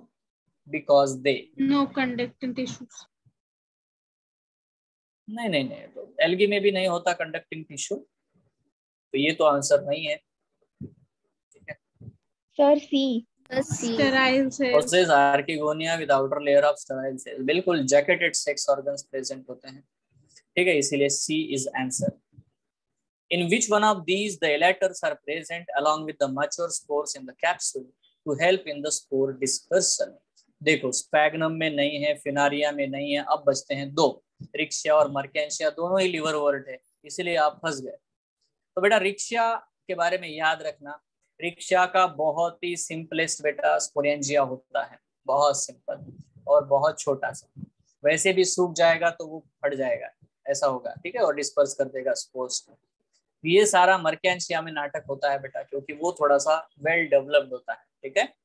सो so, यहाँ पे आंसर जो है हमें मर्केंशिया देना है। तो ये क्वेश्चन बड़ा टेढ़ी कीर है क्योंकि आपको लिवर वर्ड के बारे में पता है लेटर्स पहले है ना? ये नहीं पता है कि रिक्शा आपको ये क्वेश्चन पूछेंगे ना कभी कि which of the following bryophyte have the simplest capsule तो आंसर आएगा बेटा Riccia. The plant body of moss is completely sporophyte completely gametophyte predominantly sporophyte with gametophyte predominantly gametophyte with the sporophyte. बहुत आसान है यार ये आपके बुक में चित्र भी दिया गया है। Predominantly पहले तो डोमिन है ना? तो बिल्कुल सही बेटा है ना?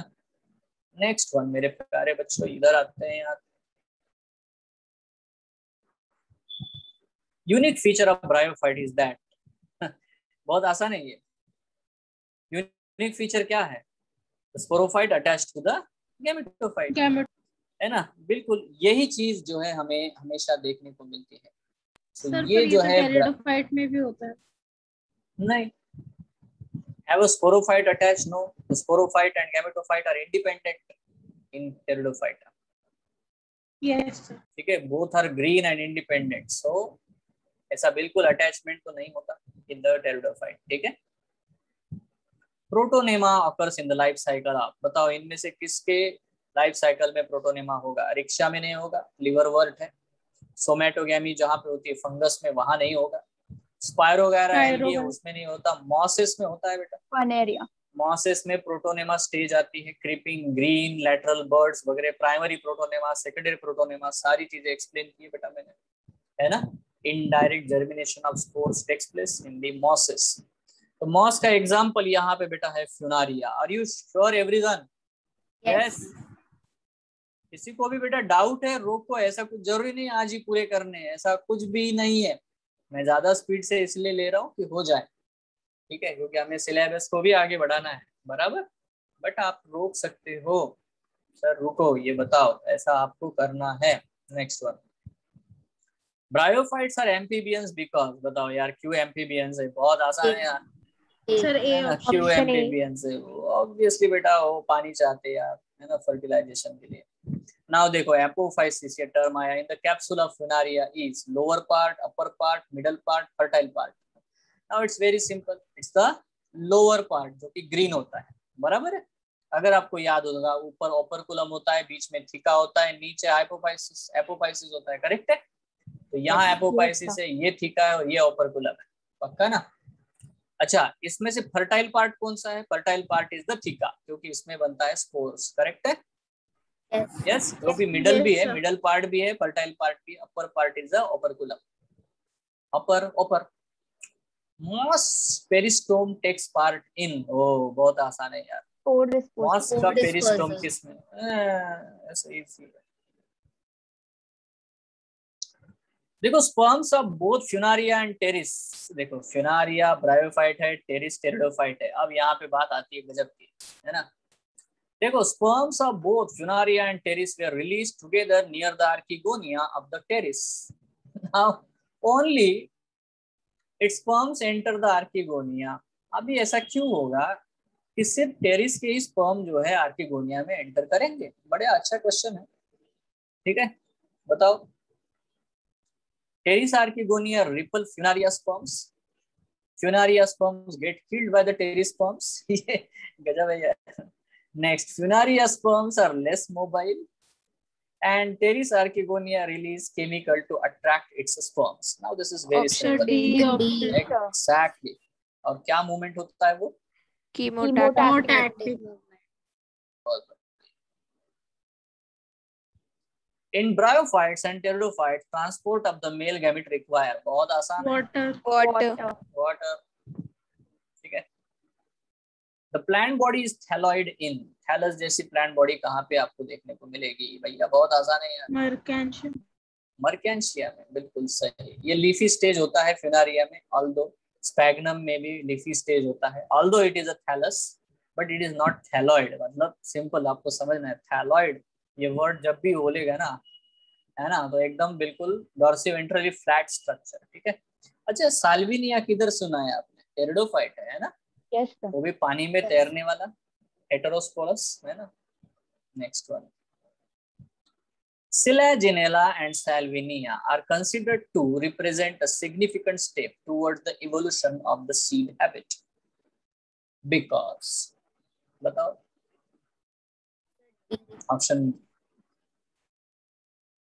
ऑप्शन बड़े ही क्लोज है बट आपको समझना है।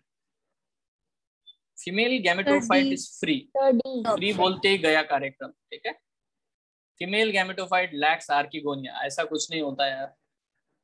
मेगास्पोर्स पोसेस एंडोस्पर्म एंडोस्पर्म कहाँ होता है यार मेगास्पोर एंडोस्पर्म बनता ही नहीं है। ठीक है? तो यहाँ पे ये गया। Option बचा एक ही।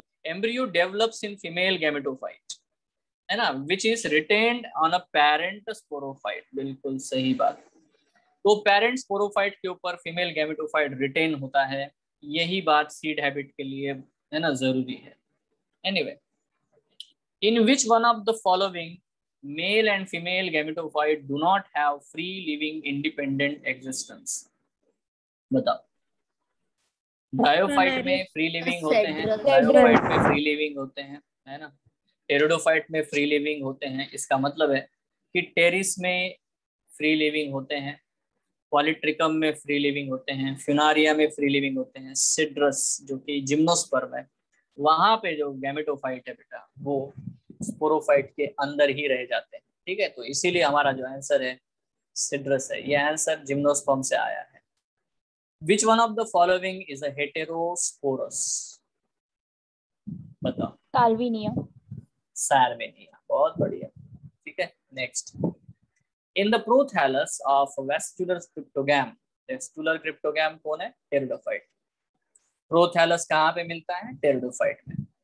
The antherozoids and egg mature है ना at different times as a result देखो, बिल्कुल सिंपल है बेटा। अगर हम सेल्फ फर्टिलाइजेशन को प्रिवेंट करना चाहते हैं, ठीक है? देखो, मैंने कहा था आपको, ये प्रोथैलस हार्ट शेप ऐसा दिखाया था, आपको याद है? ठीक है?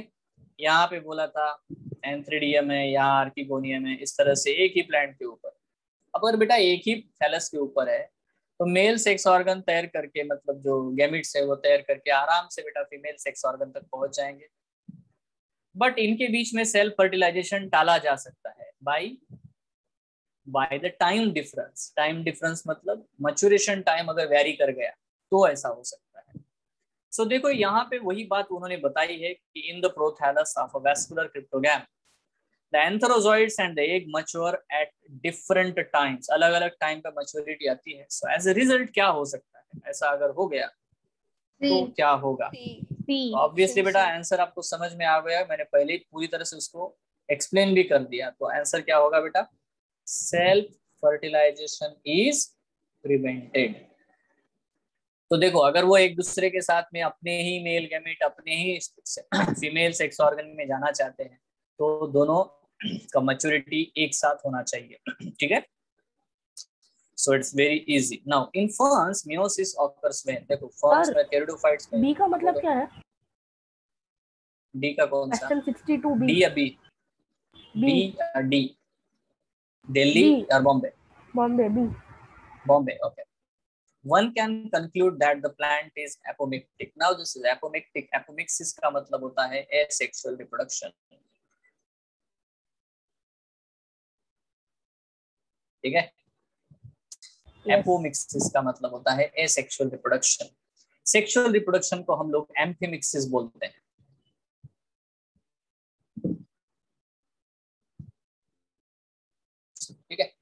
तो देखो अगर वो अलग अलग समय पे मैच्योर होते भी है तो ये नहीं कि वो सेक्सुअल रिप्रोडक्शन नहीं करेंगे। ठीक है? तो बिल्कुल भी ये आंसर नहीं हो सकता। करेक्ट है? बढ़िया चलो। In ferns meiosis occurs when देखो फर्न्स में मियोसिस कब होगा? कब होगा यार? क्योंकि हैप्लोडिप्लोंटिक लाइफ साइकिल होता है तो कौन सा मियोसिस होता है? बहुत आसान है ना? तो बताओ ना फिर आंसर क्या होगा? ठीक है? मियोसिस कब होगा? जब स्पोर्स फॉर्म होते हैं सही बात? है ना? Next one dichotomous branching is found in Mercantia. Branching आपको कहाँ देखने को मिले? मर्केंशिया में। बिल्कुल मैंने आपको डायग्राम ड्रॉ किया था तभी। देखो यहाँ पे आप लोग ये जो है ऑब्वियसली लिवर वर्ड्स बोल तो सकते हैं बट देखो हर एक लिवर वर्ड में ऐसा आपको देखने को नहीं मिलता। मर्केंशिया में डेफिनेटली आपको डायकोटोमस ब्रांचिंग देखने को मिलती है। If anyone is not recollecting कि मैं क्या बोल रहा हूँ ये देखो।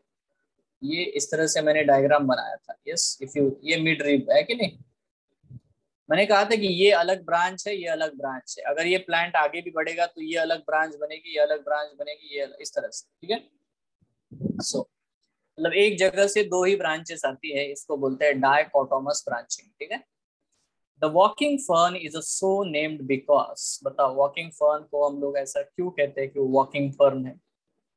It propagates Sir, it propagates vegetatively by Vegetatively. B option. बस बस ऑप्शन बी करेक्ट है next multicellular branched rhizoids now see multicellular branched rhizoids and leafy gametophyte are the characteristic of ये कहाँ पे देखने को मिलेगा all bryophytes में some bryophytes में Some bryophytes. some bryophytes मतलब mosses में ये आपको देखने को मिलता है ठीक है? कुछ bryophytes में देखने को मिलता है। Now next one.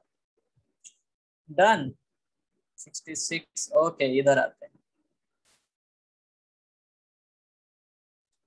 The amphibians of plant kingdom are oh my God it's very simple one बताओ क्या हो सकता है?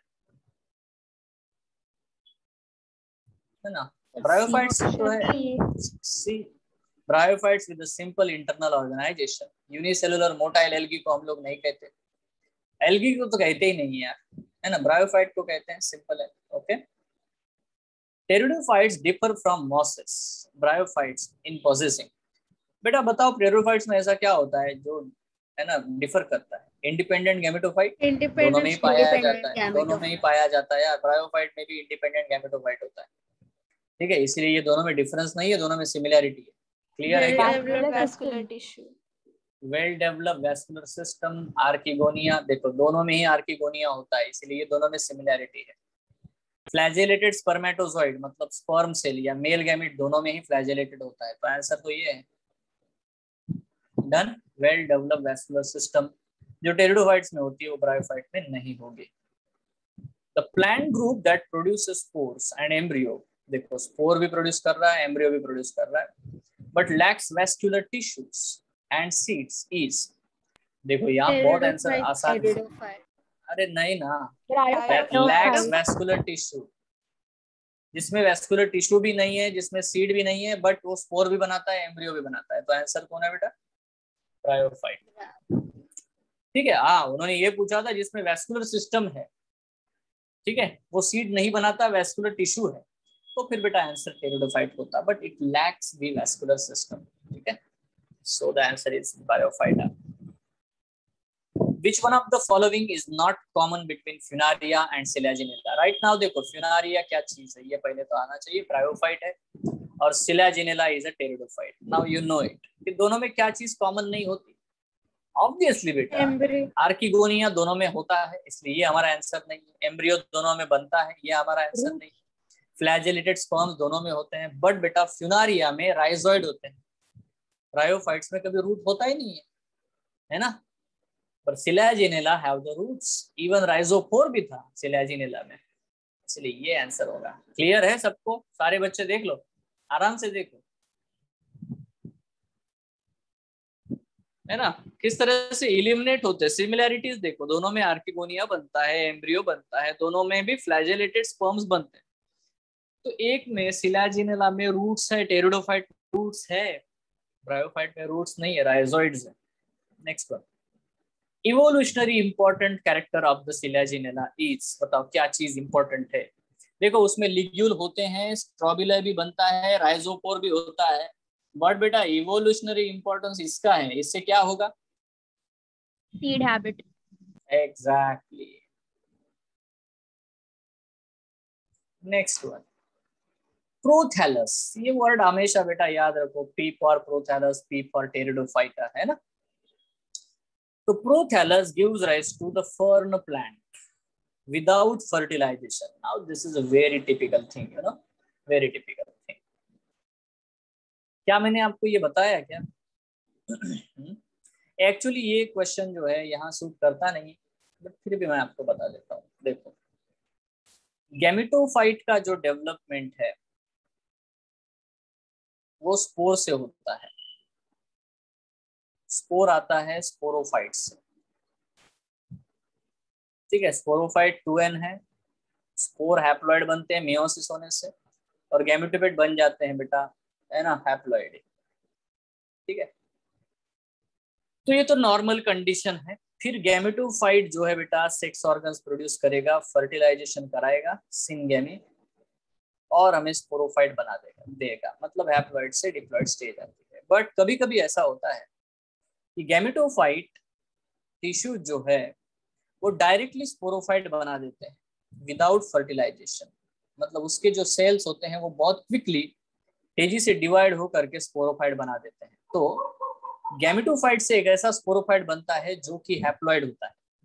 इसी कंडीशन को हम लोग बोलते हैं एपोगैमी इसे हम लोग क्या कहते हैं? एपो गैमी मतलब विदाउट फर्टिलाइजेशन एपो मतलब अवे फ्रॉम द सिंगेमी ठीक है? सो आप आंसर दे सकते हो। बताओ। Prothallus gives rise to fern plant without fertilisation मतलब गैमेटोफाइट से स्पोरोफाइट बन रहा है विदाउट फर्टिलाइजेशन इसको क्या कहते हैं? आंसर क्या होगा बेटा? एपोगेमी क्लियर है क्या? अपने. आप से ये क्वेश्चन पूछो कि स्पोरोफाइट कैसे बनेगा? आंसर है फर्टिलाइजेशन से।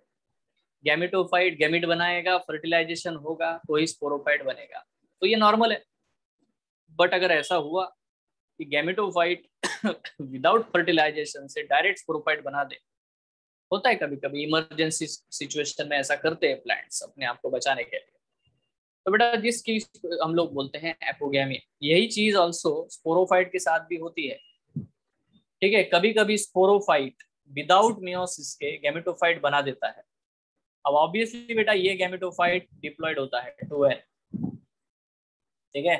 तो इस प्रोसेस को हम लोग बोलते हैं एपो स्पोरोफाइट के ऊपर बनाना, एपो स्पोरी ठीक है? तो जो अगर इन्होंने पूछा होता एपोस्पोरी के बारे में तो आंसर क्या है बेटा? कि जब गैमेटोफाइट डायरेक्टली स्पोरोफाइट के ऊपर डेवलप हो जाए without meiosis without spore formation इसको हम लोग बोलते हैं एपोगैमी सॉरी एपोस्पोरी बात क्लियर है?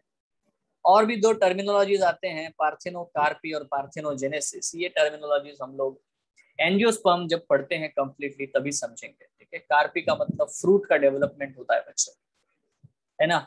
फ्रूट का development without fertilisation is a parthenocarpy. और पूरे प्लांट का डेवलपमेंट विदाउट फर्टिलाइजेशन उसे कहते हैं पार्थेनोजेनेसिस। बट ये एंजियोस्पर्म्स और जिम्नोस्पर्म से रिलेटेड टर्मिनोलॉजीज है, ठीक है? So anyway will study this one this ये सारे पॉइंट्स हम लोग पढ़ने वाले हैं इन योर ट्वेल्थ स्टैंडर्ड ठीक है? Next one which one of the following is considered important in the development of the seed habit बता दो seed habit के लिए कौन सी चीज़ ज़रूरी है इन चारों में से Heterosporic. Heterosporic. हेटेरोस्पोरी बिल्कुल सही ठीक है फ्री लिविंग गैमेटोफाइट नहीं होना चाहिए तो ही बेटा सीड हैबिट बन सकता है next one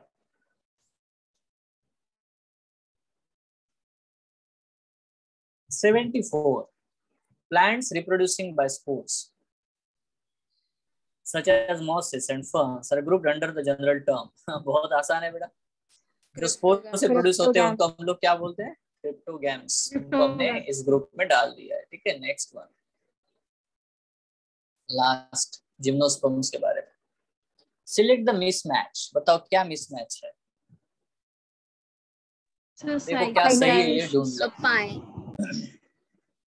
yes all gymnosperms are dioecious. Pinus is बराबर तो यहाँ पे ये वाला जो है वो मिसमैच है। बाकी बेटा बाकी सब सही है। ठीक है?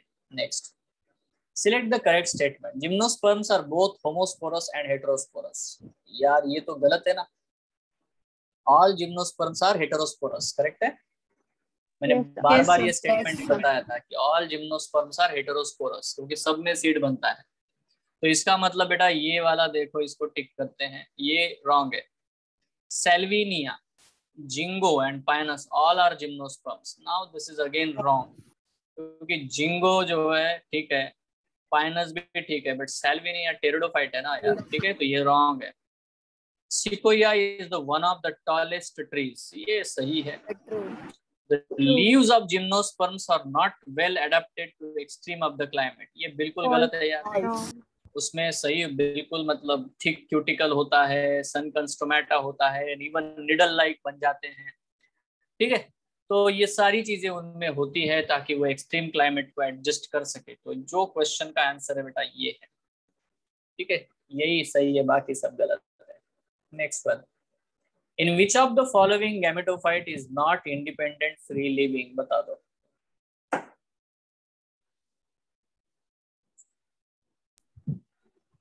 ब्रायोफाइट में गैमेटोफाइट इंडिपेंडेंट होता है। टेरिडोफाइट में गैमेटोफाइट इंडिपेंडेंट होता है। तो बेटा भाई ये क्या है ना?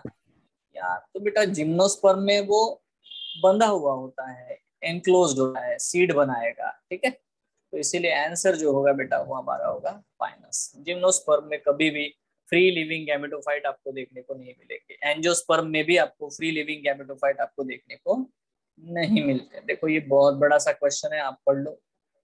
है ना? Read the following five statements A to E and select the option with all correct statements बता सकते हो? Mosses and lichens are the first organisms to colonise a bare rock देखो। True. ये मैंने आपको सक्सेशन वाला एक एग्ज़ाम्पल बताया था। याद है क्या? यस यस सर सिग्निफिकेंस है ब्रायोफाइट का। ये बिल्कुल सही है। Now Selaginella is a homosporous now it is wrong Selaginella heterosporous होता है, ठीक है? Coralloid root in Cycas have a VAM VAM का मतलब होता है माइकोराइजा ठीक है? तो डेफिनेटली बेटा ये गलत है क्योंकि साइकस के जो कोरोलॉइड रूट है, उसमें होते हैं साइनोबैक्टीरिया है? एनाबेना तो ये रॉन्ग है। Main plant body in bryophyte is gametophyte whereas in pteridophyte it is sporophyte, ये बिल्कुल सही है। In gymnosperms male and female gametophytes are present within the sporangia located on the sporophyte बहुत बढ़िया तो क्वेश्चन क्या पूछा है भाई with all correct all correct देखो ऑल करेक्ट मतलब ए और डी और ई ये कहाँ पे दिख रहा है ये है हमारा सही आंसर सही है Yes, sir. बराबर है Yes, sir. देख लो आराम से देखो आराम से देखो है ना, जल्दबाजी नहीं है, क्योंकि ऐसे क्वेश्चन आते हैं तो बड़ी तकलीफ़ होती है बच्चों को। एक एक को मतलब एक ही क्वेश्चन में इतने सारे क्वेश्चन है, ऐसा कैसा कर दिया, है ना? गलत बात है। टाइम लेता है ना ऐसा क्वेश्चन है कि नहीं? It takes time anyway so answer is very simply है ना यू हैव टू नो ये सही है, ये सही है, ये सही है तो ए और डी और ई बिल्कुल करेक्ट है। बाकी बी और सी रॉन्ग है, ठीक है? Besides paddy fields, देखो paddy fields, cyanobacteria are also found inside the vegetative part of देखो आपको तो अब भी मैंने बताया साइकस के रूट में पाया जाता है ठीक है इसलिए ये हमारा आंसर है read the following statement again a to e and answer the question which follows them sorry in liverworts mosses and ferns gametophytes are free living ये बिल्कुल सही है मेरे प्यारे बच्चों है ना ये सही है gymnosperms and some ferns are heterosporous ये भी सही है यार। कुछ फर्न्स जो होते हैं, वो हेटरोस्पोरस है। है कि नहीं? जिम्नोस्पर्म तो हेटरोस्पोरस होते हैं। Sexual reproduction in Fucus Volvox and Albugo is oogamous ओ विसाफेको हम्म? तो फ्यूकस में ओगेमी है वॉल्वॉक्स में ओगेमी है, और आपको पता है? Albugo belongs to the oomycetes बराबर अरे फंगस में पढ़ो ना। फंगस को biological classification chapter if you remember phycomycetes को फाइकोमाइसिटिस नाम का जो ग्रुप है फंगस का, ठीक है? उसको डिनाई कर दिया एलेक्सोपोलस नाम के साइंटिस्ट ने। बोला कि ये नहीं चलेगा फाइकोमाइसिटिस और बेटा, छह क्लासेस और बना दी है ना उसमें चार के नाम नहीं बताऊँगा बट दो है जो फ़ेमस है एक को बोलते हैं जाइगोमाइसिटिस एक को बोलते हैं ऊमाइसिटिस तो बेटा अल्ब्यूगो ऊमाइसिटिस में आता है मेरे प्यारे बच्चों। ऊमाइसिटिस ऊमाइसिटिस ऊगेमी ऊस्पोर सब यही है। ठीक है? यस एवरीवन है ना? तो फ्यूकस वॉलवॉक्स और एल्ब्यूगो एल्ब्यूगो फंगस है। है ना?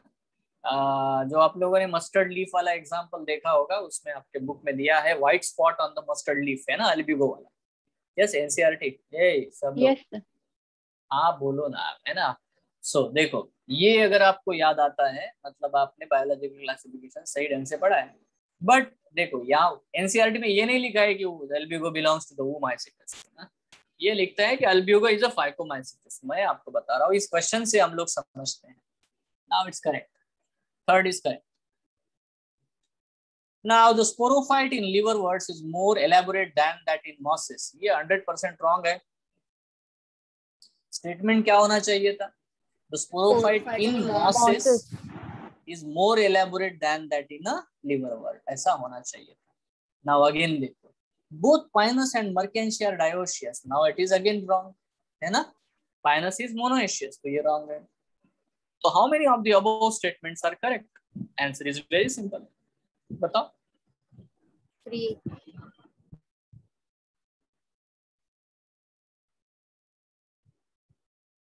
हो गया? आ गया ना सबको वैसे मैंने ही करके दिखाया तो कोई प्रॉब्लम नहीं है। आगे बढ़ते बच्चों। Okay what is the common in all the three हाँ तीनों में क्या चीज़ कॉमन है कौन बताएगा? फ्यूनारिया जो कि ब्रायोफाइट है। ड्रायोप्टेरिस जो कि टेरिडोफाइट है। और जिंगो जो कि जिम्नोस्पर्म है। इन तीनों में क्या चीज़ कॉमन हो सकती है? Presence of इंडिपेंडेंट स्पोरोफाइट तो होगा ही नहीं। है ना? ये क्वेश्चन पहले भी आ चुका है तो आपको पता है यार तीनों में आर्किगोनिया होता है। Well develop vascular tissue Funaria में नहीं होता। इंडिपेंडेंट गैमेटोफाइट जो है जिंगो में नहीं होता तो answer is B next one Cycas and Adiantum देखो साइकस एक जिम्नोस्पर्म है एडियंटम एक टेरिडोफाइट है। Resemble each other in having बताओ क्या चीज़ दोनों में कॉमन है भाई? सीड्स मोटाइल स्पर्म्स कैम्बियम या वेसल्स कैम्बियम मतलब सेकेंडरी ग्रोथ जिम्नोस्पर्म में सेकेंडरी ग्रोथ होती है बट टेरिडोफाइट में नहीं होती इसलिए ये हमारा आंसर नहीं है। एडियंटम में सीड नहीं बनता, इसलिए ये हमारा आंसर नहीं है। एडियंटम में बेटा जाइलम होता है बट जाइलम वेसल्स नहीं होते, फिर जाइलम ट्रकिड्स होते हैं, इसलिए ये हमारा आंसर नहीं है। दोनों में मोटाइल स्पर्म होते हैं। अगर आपको याद हो तो साइकस के बारे में मैंने बताया था, वो पोलन ट्यूब बनाता ज़रूर है बट उसके अंदर बायोफ्लैजेलेटेड है ना मेल गमिट पाए जाते हैं, ये साइकस के बारे में मैंने आपको बताया था। ठीक है? तो साइकस और एडियंटम में एक चीज़ कॉमन है motile sperm okay next which one of the following is a correct statement? Right now again the same thing. अब भी बताओ यार। आप ही पढ़ो और आप बताओ। बस हो गया। थक गया मैं बड़बड़ करके। बहुत बोलना पड़ रहा है।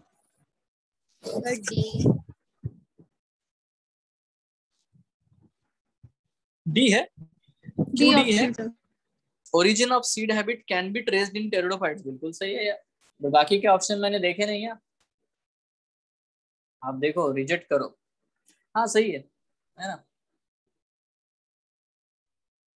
सर फ़र्स्ट ऑप्शन में टेरिडोफाइट ये तो नहीं होता। नहीं मर्केंशिया में होता है। In gymnosperm female gametophytes free second भी गलत है। गैमेटोफाइट हैज़ हो गया खत्म कार्यक्रम ठीक है? प्रोटोनेमा तो बेटा मॉसेस में पाया जाता है ना किधर इधर आ गया? तो answer D is correct next one read the following five statements and answer the question चलो पढ़ो और बताओ.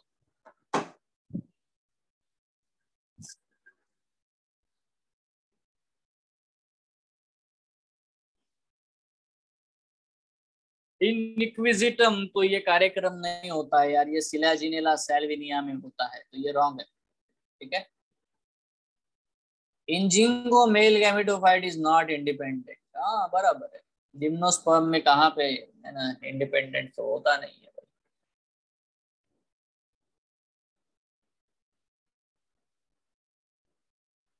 बोलो आंसर बोलो।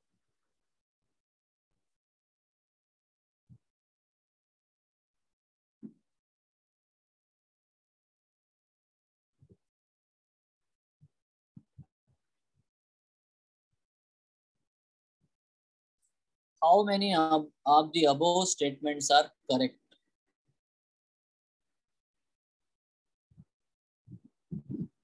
one So one state. One, sir.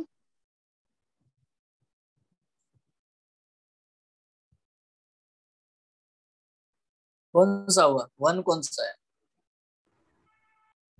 which one is correct B. B वाला करें देखो ई को देखता हूँ यार मैं the spores of the slime moulds lack cell walls ये बिल्कुल गलत है।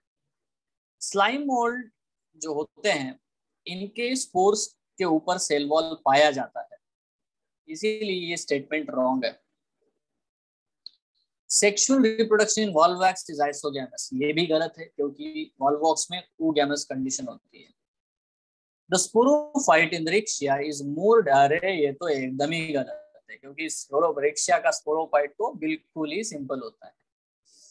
In Ginkgo male gametophyte is not independent बराबर है यार ये सही है। In equisetum, the female gametophyte is retained on the parent sporophyte. Yes, है ना तो ये सिलाजिनेला में हो सकता है बट इसमें नहीं है तो हम लोग चलेंगे ये ठीक है? Next one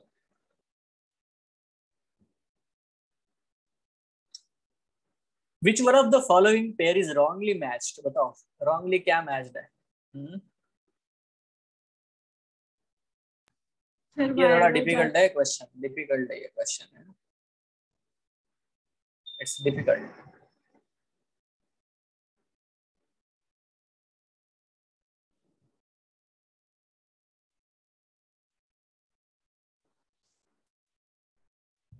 बी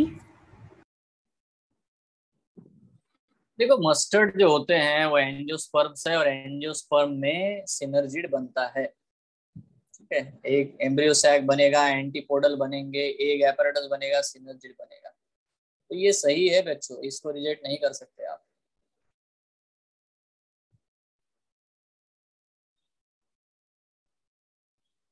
वायरॉइड्स में क्या चीज़ होगी? वायरॉइड्स डेफिनेटली बेटा आरएनए होते हैं नेकेड ठीक है इन्फेक्शियस तो ये सही है। सैलवी है हमें प्रोथेलस। ओ मतलब बचा ए और बी में से आंसर है बताओ क्या हो सकता है? आप है ना एनसीईआरटी में डायग्राम देखो रिंगो की आपको समझ में आएगा। वहाँ पे है ना डार्क शूट वगैरह दिया हुआ है। Have you seen the diagram yes sir आप देखोगे तो आपको दिखाई देगा। है ना? क्या मतलब है उसका?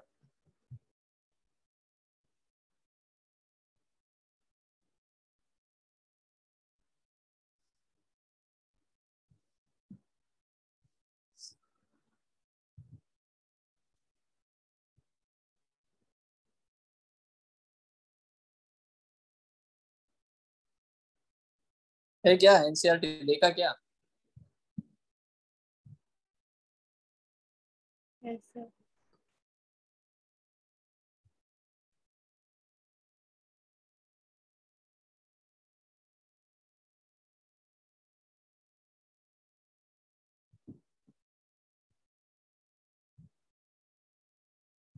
तो देखो यहाँ पे अगर देखोगे तो जिंगो जो है ना उसमें आर्किगोनिया होता है। वैसा क्वेश्चन भी हमने पहले भी सॉल्व किया है व्हाट इज़ कॉमन बिटवीन और उसमें आप लोगों ने यहाँ पे देख सकते हो।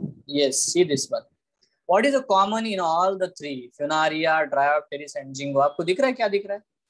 Presence of archegonia can you see ठीक है?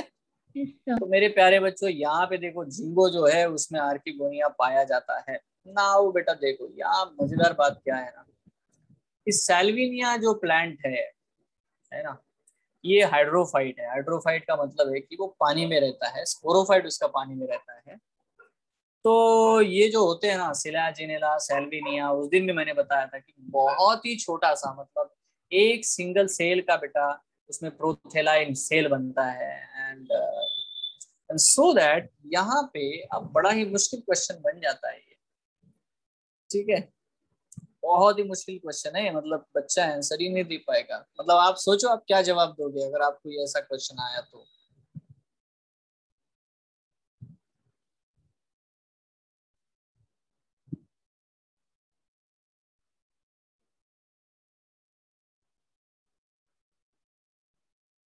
ठीक है? तो आपको याद रखना है, क्योंकि सैल्विनिया हाइड्रोफाइट है तो उसमें जो प्रोथैलस है, वो एब्सेंट होता है।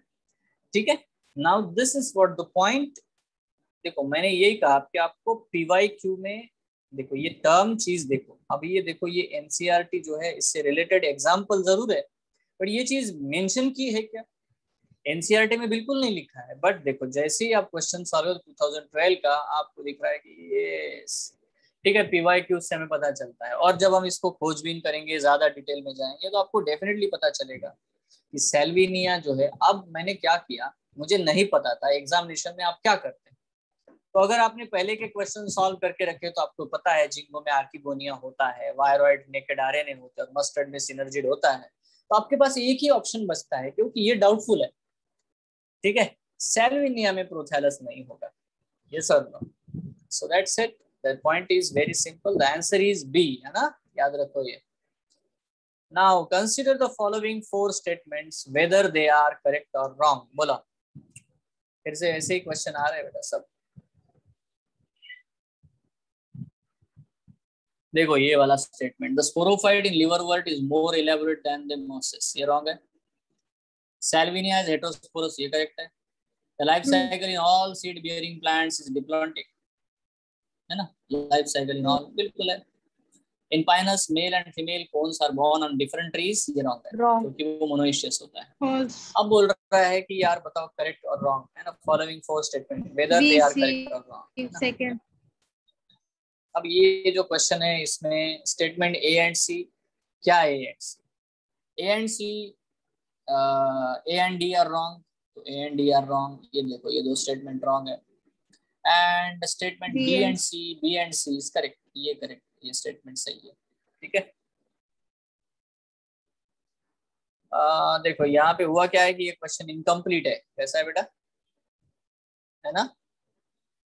इनकम्प्लीट क्यों है? क्योंकि यहाँ पे पता नहीं चल रहा कि क्या बोलना है। रॉन्ग ढूंढना है या करेक्ट आपको नहीं पता ना? है ना? सो देखो ए और डी रॉन्ग है और बी एंड सी करेक्ट है। हमारा काम हो गया। ठीक? नेक्स्ट वन आप जो पूछना चाहो, हमारे पास जवाब है।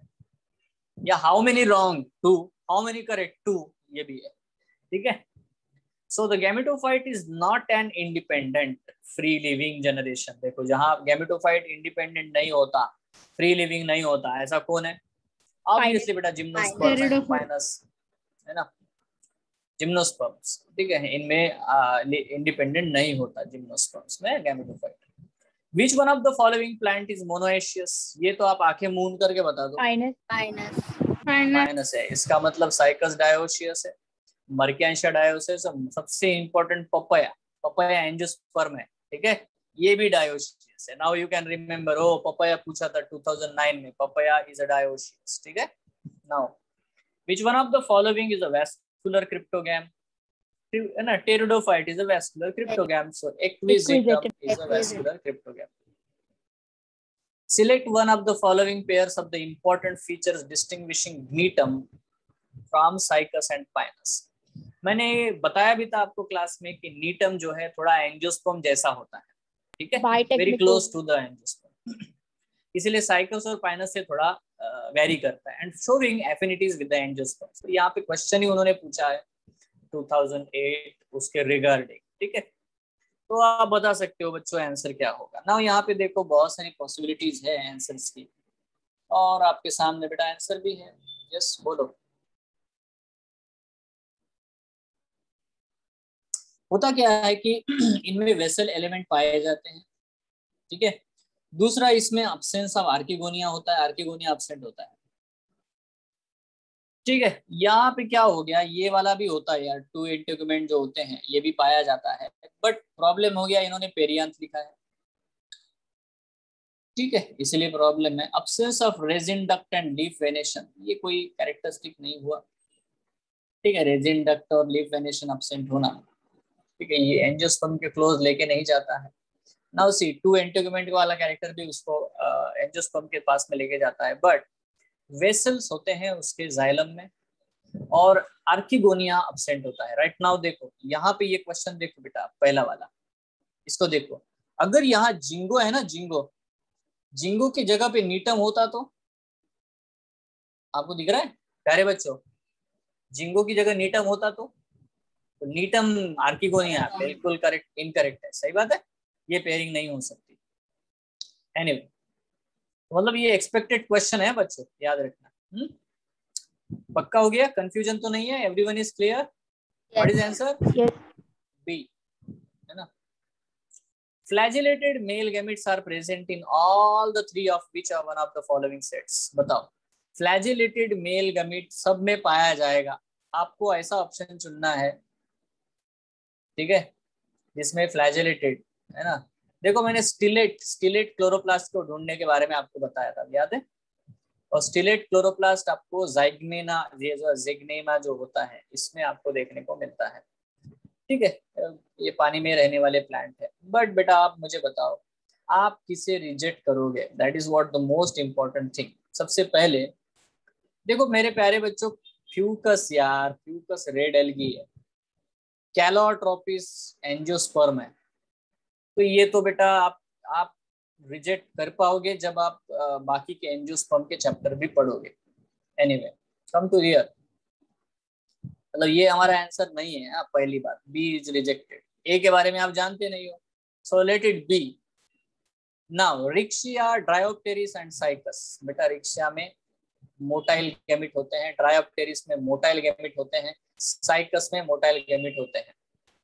तो नाउ ये सुटेबल है। एंथोसिरोस मतलब ही हॉर्नवर्ट फ्यूनारिया मतलब ये ब्रायोफाइट एंड स्पाइरोगायरा मतलब ये ब्रायोफाइट है।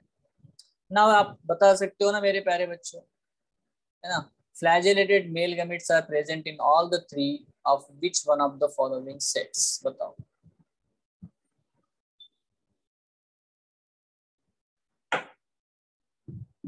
What should be your answer Sir. C, sir.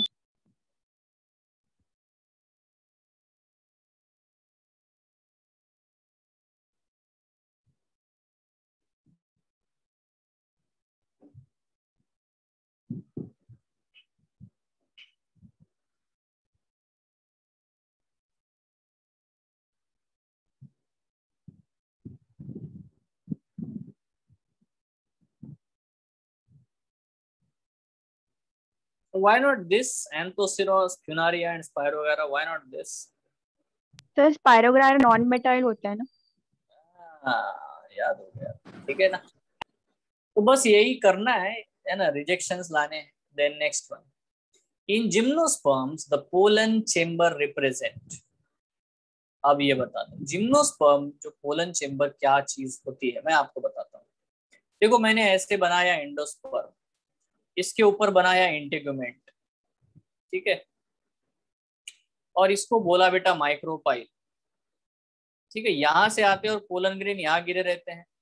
तो इसको हम लोग बोलते हैं पोलन चेम्बर क्या बोलते हैं? जहाँ पोलन ग्रेन आके पड़े रहते हैं ओव्यूल में, उसको बोलते हैं पोलन चेम्बर ढूंढो option in gymnosperm the pollen chamber represents a cavity in the ovule in which pollen grains are stored after pollination. An Yes. opening in the megas gametophyte through which the pollen tube approaches the egg. The microsporangium in which pollen grains develop. A cell in the pollen grain in which the sperms are formed. तो ये तो आपका answer है but एक चीज़ मैं यहाँ पे आपको बता दूँ कि अगर ये क्वेश्चन अगर ये क्वेश्चन एंजियोस्पर्म्स के लिए होता तो हम लोग आंसर देते ये वाला। जिसको मैं ग्रीन में लिख रहा हूँ। माइक्रोस्पोरेंजिया जिसके अंदर पोलन ग्रेन डेवलप होते हैं, उसको हम पोलन चेम्बर कहते हैं। बट ये वर्ड हम लोग एंजियोस्पर्म्स में यूज़ करते हैं। बट जिम्नोस्पर्म में बटा पोलन चेम्बर हम फीमेल का जो पार्ट है ओव्यूल उसका जो चेम्बर है, जहाँ पे एक्चुअली पोलन ग्रेन आके गिरे पड़े रहते हैं आफ्टर पॉलिनेशन उसे कहते हैं। So the 92 option A is correct everyone is clear perfect yes sir okay ये वाला आंसर किसके लिए सही हो सकता है? फॉर द एंजियोस्पर्म्स ठीक है? Now conifers differ from grasses बताओ कोनिफर्स क्या होते हैं यार? जिम्नोस्पर्म्स ग्रासेस क्या होते हैं? एंजियोस्पर्म्स क्या डिफरेंस है दोनों में? जिम्नोस्पर्म्स और एंजियोस्पर्म में क्या डिफरेंस. यस बहुत बढ़िया। Formation of endosperm before fertilisation पहले ही बन जाता है हैप्लॉइड एंडोस्पर्म बनाता है that's it match items in column one with those in the column two column one में दिया है बेटा पेट है ना? पेरिट्रिकस फ्लैजेलेशन पेरिट्रिकस का मतलब होता है पूरे है ना? बॉडी के ऊपर हर तरफ़ फ्लैजेलेशन हो। ठीक है? इसको बोलते हैं पेरिट्रिकस फ्लैजेलेशन ये चीज़ आपको जब बैक्टीरिया पढ़ते हो तब पढ़ाई जाती है। क्या आपने पढ़ा? पेरिट्रिकस फ्लैजेलेशन अट्रिकस मतलब नो फ्लैजेला मोनोट्रिकस मतलब वन फ्लैजेला ये पढ़ा? ओके। अच्छा लिविंग फॉसिल कौन है रे? इनमें से बताओ सब में सब लोग बता सकते हो। Living fossil. किसे कहते हैं? जिंगो बस हो गया। बीजे ठीक है दिस इज़ बीजे नाउ राइजोफोर किसमें देखने को मिलता है? यार. फिलाजिनेला में करेक्ट है। Smallest flowering plant Wolffia. Wolfia, smallest flowering plant is Wolfia. Largest perennial alga, सबसे बड़ा. पेरिनियल एल्गा केल ये मैक्रोसिस्टिस है ना? मैंने बताया था इसको केल बोलते हैं मैक्रोसिस्टिस को। ठीक है? लार्जेस्ट पेरिनियल एल्गा है। एंड यू नो एक ही बचा peritrichous flagellation is what the bacteria Escherichia coli E coli now you have the answer you know है ना? ए के लिए कौन Yes, सुटेबल है? L L. तो बता दो आंसर क्या होगा? First option. फ़र्स्ट ऑप्शन है। चलो आगे बढ़ते हैं। Which one of the following is a living fossil now again living fossil इनमें से कौन है? आंसर इज़ दिस ठीक है? है ना साइकस भी मैंने लिख के दिया है यार। आपके नोट्स देख लो आप। Cycas is also a living fossil है ना? जिंगो तो है ही। बेटा मेटा सिक्विया है ना? सिक्विया जो नाम हम लोग टॉलेस्ट प्लांट तो मेटा सिक्विया साइकस जिंगो ये तीनों लिविंग फॉसिल होते हैं। पक्का? बढ़िया है। Which one of the following pairs of plants are not seed producers अरे बहुत आसान है यार। कौन है जो सीड प्रोड्यूस नहीं करेगा भाई? है ना? कौन नहीं करेगा? Seed hmm? देखो फीकस जो होता है फीकस रे कॉर्न एंड फुनारिया बिल्कुल सही। तो फीकस क्या होता है? फीकस मतलब होता है फीकस रिलीजियोसा फीकस बेंगलेंसिस। ठीक है? ये देखो फीकस रिलीजियोसा मतलब होता है पीपल का पेड़। फीकस बेंगलेंसिस का मतलब होता है बरगद का पेड़ वड़ाचे झाड़ है ना? That is what the point है ना? एनीवे तो बेटा एंजियोस्पर्म्स होते हैं फिकस। पक्का? Next which one of the following is a living fossil? Oh my god. Again वही क्वेश्चन बताओ क्या होगा बेटा? जिंगो जिनको देखो पाइनस कहाँ पे आता है? जिम्नोस्पर्म्स में। ओपुंशिया कहाँ आता है? नागफणी कैक्टस ठीक है? इज़ एंजियोस्पर्म थूजा कहाँ होता है? Thuja thuja is also the gymnosperm ठीक है? सो ये है uh, मेरे प्यारे बच्चों जिंगो जो होता है डेफिनेटली बहुत सिंपल है। ये देखो आप क्वेश्चन को रिपीटेशन देखो बेटा। 1996 97 2003 पक्का? Cycas has a two cotyledons ये मैंने लिख के दिया आपको। But not included in the angiosperms because बताओ एंजियोस्पर्म में क्यों नहीं? क्योंकि नेकेड ओव्यूल है। Naked. है ना? यस एग्जैक्टली नेकेड ओव्यूल के कारण बेटा वो डेफिनेटली फ्रूट नहीं बनाता। फ्लावर्स नहीं आते। ठीक है? So it's a In which of the following would you place the plants having vascular tissue lacking seeds? देखो एक वेस्कुलर टिश्यू बना रहा है बट उसमें सीड्स नहीं बन रहे ऐसा ये क्वेश्चन आपने दिया है. है इसका आंसर टेरिडोफाइट होगा पहले जो क्वेश्चन आया था उसमें उन्होंने बताया था lack vascular tissue and seeds बराबर है तो तब आंसर ब्रायोफाइट था अभी आंसर टेरिडोफाइट है now which one of the following statement about cycus is incorrect बताओ which one of the following statements about cycus is incorrect it does not have well organize female flower बिल्कुल सही है यार ये।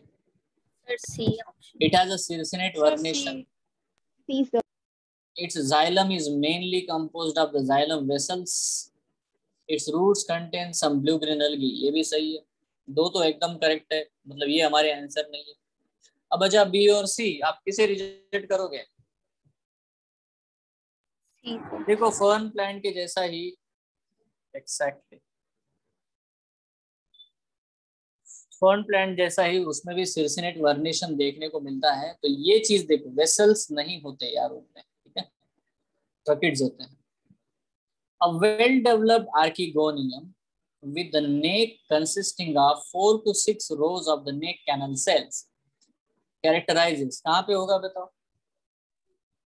Bryophyte bryophyte इन से कहाँ पे होगा? बिल्कुल ये ठीक है इनमें ही पॉसिबल है। ठीक है ब्रायोफाइट्स एंड टेरिडोफाइट्स में ये पॉसिबल है ठीक है। नेक्स्ट ऑल दो टेरिडोफाइट्स में और भी कम सेल होते हैं neck cells neck canal cell इतने होते नहीं है टेरिडोफाइट में बट जो लोअर टेरिडोफाइट है ठीक है उनमें ये पाया जाता है ठीक है। नाउ देखो मैंने आपको बोला था कि पाइनस एक ऐसा प्लांट है जिसके सीड को भी विंग होते हैं और पोलन ग्रेन को भी विंग होते हैं बराबर है? So the wing of the pinus seed is derived from, ठीक है, wing of the pinus seed. Pinus seed का विंग किस चीज़ से बनता है? ऐसा क्वेश्चन उन्होंने पूछा है। अब ये बहुत पुराना क्वेश्चन है जो अभी मैटर नहीं करता इतना ठीक है? तो आंसर होता है बेटा उसका जो आ, जो सीड बनता है ओव्यूल जो होता है ओव्यूल के बाजू में। जहाँ ओव्यूल होगा ओव्यूल के बाजू में यहाँ पे स्केल्स होते हैं। इनसे बेटा उसके विंग्स बनते हैं। तो इनको हम लोग बोलते हैं ओव्यूली फेरस स्केल्स ठीक है? So that is the answer पक्का next which one is the most advanced from evolutionary point of view हाँ बिल्कुल बेटा इवोल्यूशन सीड हैबिट के बारे में पूछा जाएगा तो अगर हम लोग देखेंगे तो यहाँ पे बेटा पाइनस जो है जिम्नोस्पर्म है तो इसलिए ज़्यादा एडवांस तो ये है ठीक है सबसे ज़्यादा एडवांस ये है क्योंकि वो जिम्नोस्पर्म है a plant in which sporophytic generation is represented by zygote बताओ सिर्फ़ जाइगोट ही बनेगा डिप्लॉयड बाकी सब डिप्लॉयड कोई भी डिप्लॉयड नहीं बनेगा। हैप्लॉन्टिक लाइफ साइकिल में ऐसा हो सकता है? ठीक है? और ये चीज़ आपको सिर्फ़ कहाँ देखने को मिलेगी बेटा? इन दी क्लाइमाइडोमोनास क्लाइमाइडोमोनास में टू एन टू एन जो होती है सिर्फ़ बेटा जाइगोट बनता है बाकी कुछ होता ही नहीं है। यहाँ पे भी हैप्लॉन्टिक लाइफ साइकिल होगा। स्पोरोफिटिक पार्ट तो डिप्लॉयड होना चाहिए। तो sporophytic generation is represented by only zygote है ना? ये जाइगोट जो है मतलब ये चीज़ सिर्फ़ प्लानट ओवनस में आपको देखने को मिलती है। सबको समझ में आ रही है question 104 yes yes okay now a plant having seeds but lacking flowers and fruits belongs देखो यार बहुत आसान है यार। है ना? वो जिम्नोस्पर्म होगा। सीड है बट फ्रूट फ्लावर नहीं है तो जिम्नोस्पर्म है। In pinus the pollen grain has six chromosomes. Haploid then its endosperm will have six chromosomes because endosperm is also haploid in gymnosperms correct? है yes everyone? Yes, sir. है ना? अरे इसमें haploid पोलनग्रेन बनते हैं और एंडोस्पर्म भी हैप्लॉइड ही तो होता है। इसलिए अगर पोलनग्रेन में जितने क्रोमोसोम है उतने ही क्रोमोसोम बच्चों एंडोस्पर्म में भी होंगे। रेजिन एंड टर्पेंटाइन और ऑप्टेन फ्रॉम देखो ये बहुत ही सिंपल है ना? जो मैंने ये लिख के भी दिया है आप लोगों को है ना? एबीज का भी बारे में बता के बता के रखा है बेटा मैंने। सारे ही प्लांट के बारे में बताया किससे क्या क्या मिलता है। कनाडा बालसम मिलता है एबीज से है ना? आ, तो 107 का आंसर बी है। In pinus gymnosperm the haploid structures are क्या क्या चीज़ें हैप्लॉइड होगी रे जिम्नोस्पर्म्स में? एंडोस्पर्म हैप्लॉइड होता है एम्ब्रियो डिप्लॉइड होता है इसलिए ये रॉन्ग है। मेगास्पोर पोलन ग्रेन बिल्कुल मेगास्पोर हैप्लॉइड होता है। पोलन ग्रेन हैप्लॉइड होता है और एंडोस्पर्म भी हैप्लॉइड होता है तो ये परफेक्ट आंसर है। ठीक है अगर आप लाइफ साइकिल वो मैंने बताया सीक्वेंस वाइज कौन किसके बाद बनेगा तो स्पोर तो सबसे पहले हैप्लॉइड चीज़ बनती है ना। तो मेगास्पोर हैप्लॉइड है पोलन ग्रेन हैप्लॉइड है एंडोस्पर्म भी हैप्लॉइड होगा in gymnosperms. Next one, in gymnosperm like Pinus and Cycas, the endosperm is बता दो। बहुत आसान है है ना? एंडोस्पर्म कैसा होगा बेटा पाइनस और साइकस में?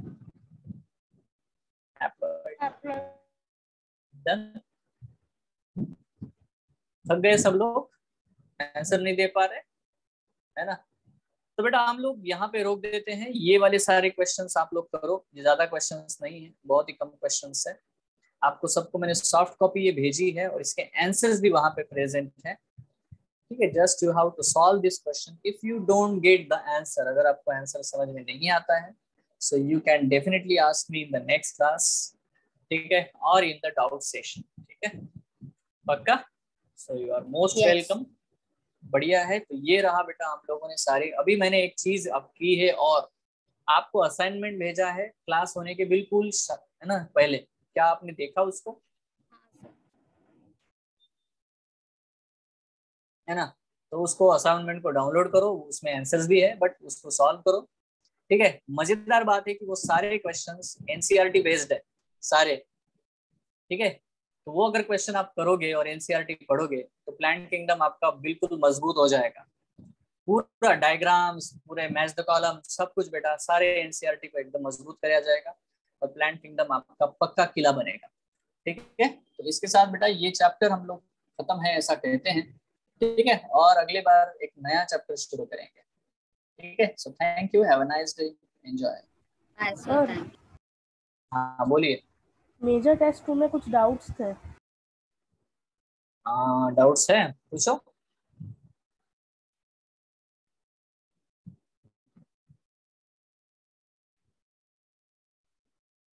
नहीं तो अच्छा आप इसमें आओगे ना डाउट सेशन में? उसमें पूछ सकती हो ठीक है? कौन सा डाउट सेशन क्या बेटा? कौन सा डाउट सेशन की आप बात कर रहे हो? मार्गदर्शक वाला। उसमें नहीं है क्या आप? नहीं मैं नहीं हूँ। वेरी गुड फिर तो प्रॉब्लम नहीं। पूछ लो। पूछो। क्वेश्चन पूछो। सर एक तो एक एंजियोस्पर्म्स के एंडोस्पर्म वाला क्वेश्चन था कि उसमें कितने क्रोमोसोम्स होते हैं? वैसा कुछ तो क्वेश्चन था पेपर में। आप पूछो।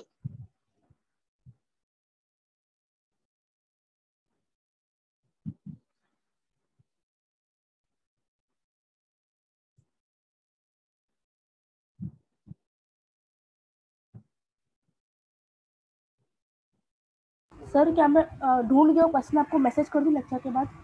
हाँ बिल्कुल चलेगा कोई इशू नहीं ये तो नेक्स्ट नेक्स्ट क्लास में पूछ लेना कोई प्रॉब्लम नहीं है ठीक है हम्म? हाँ। बस उसको रिजोल्व कर लो है ना पढ़े मत रहने देना पेंडिंग नहीं रहने देना ओके ठीक है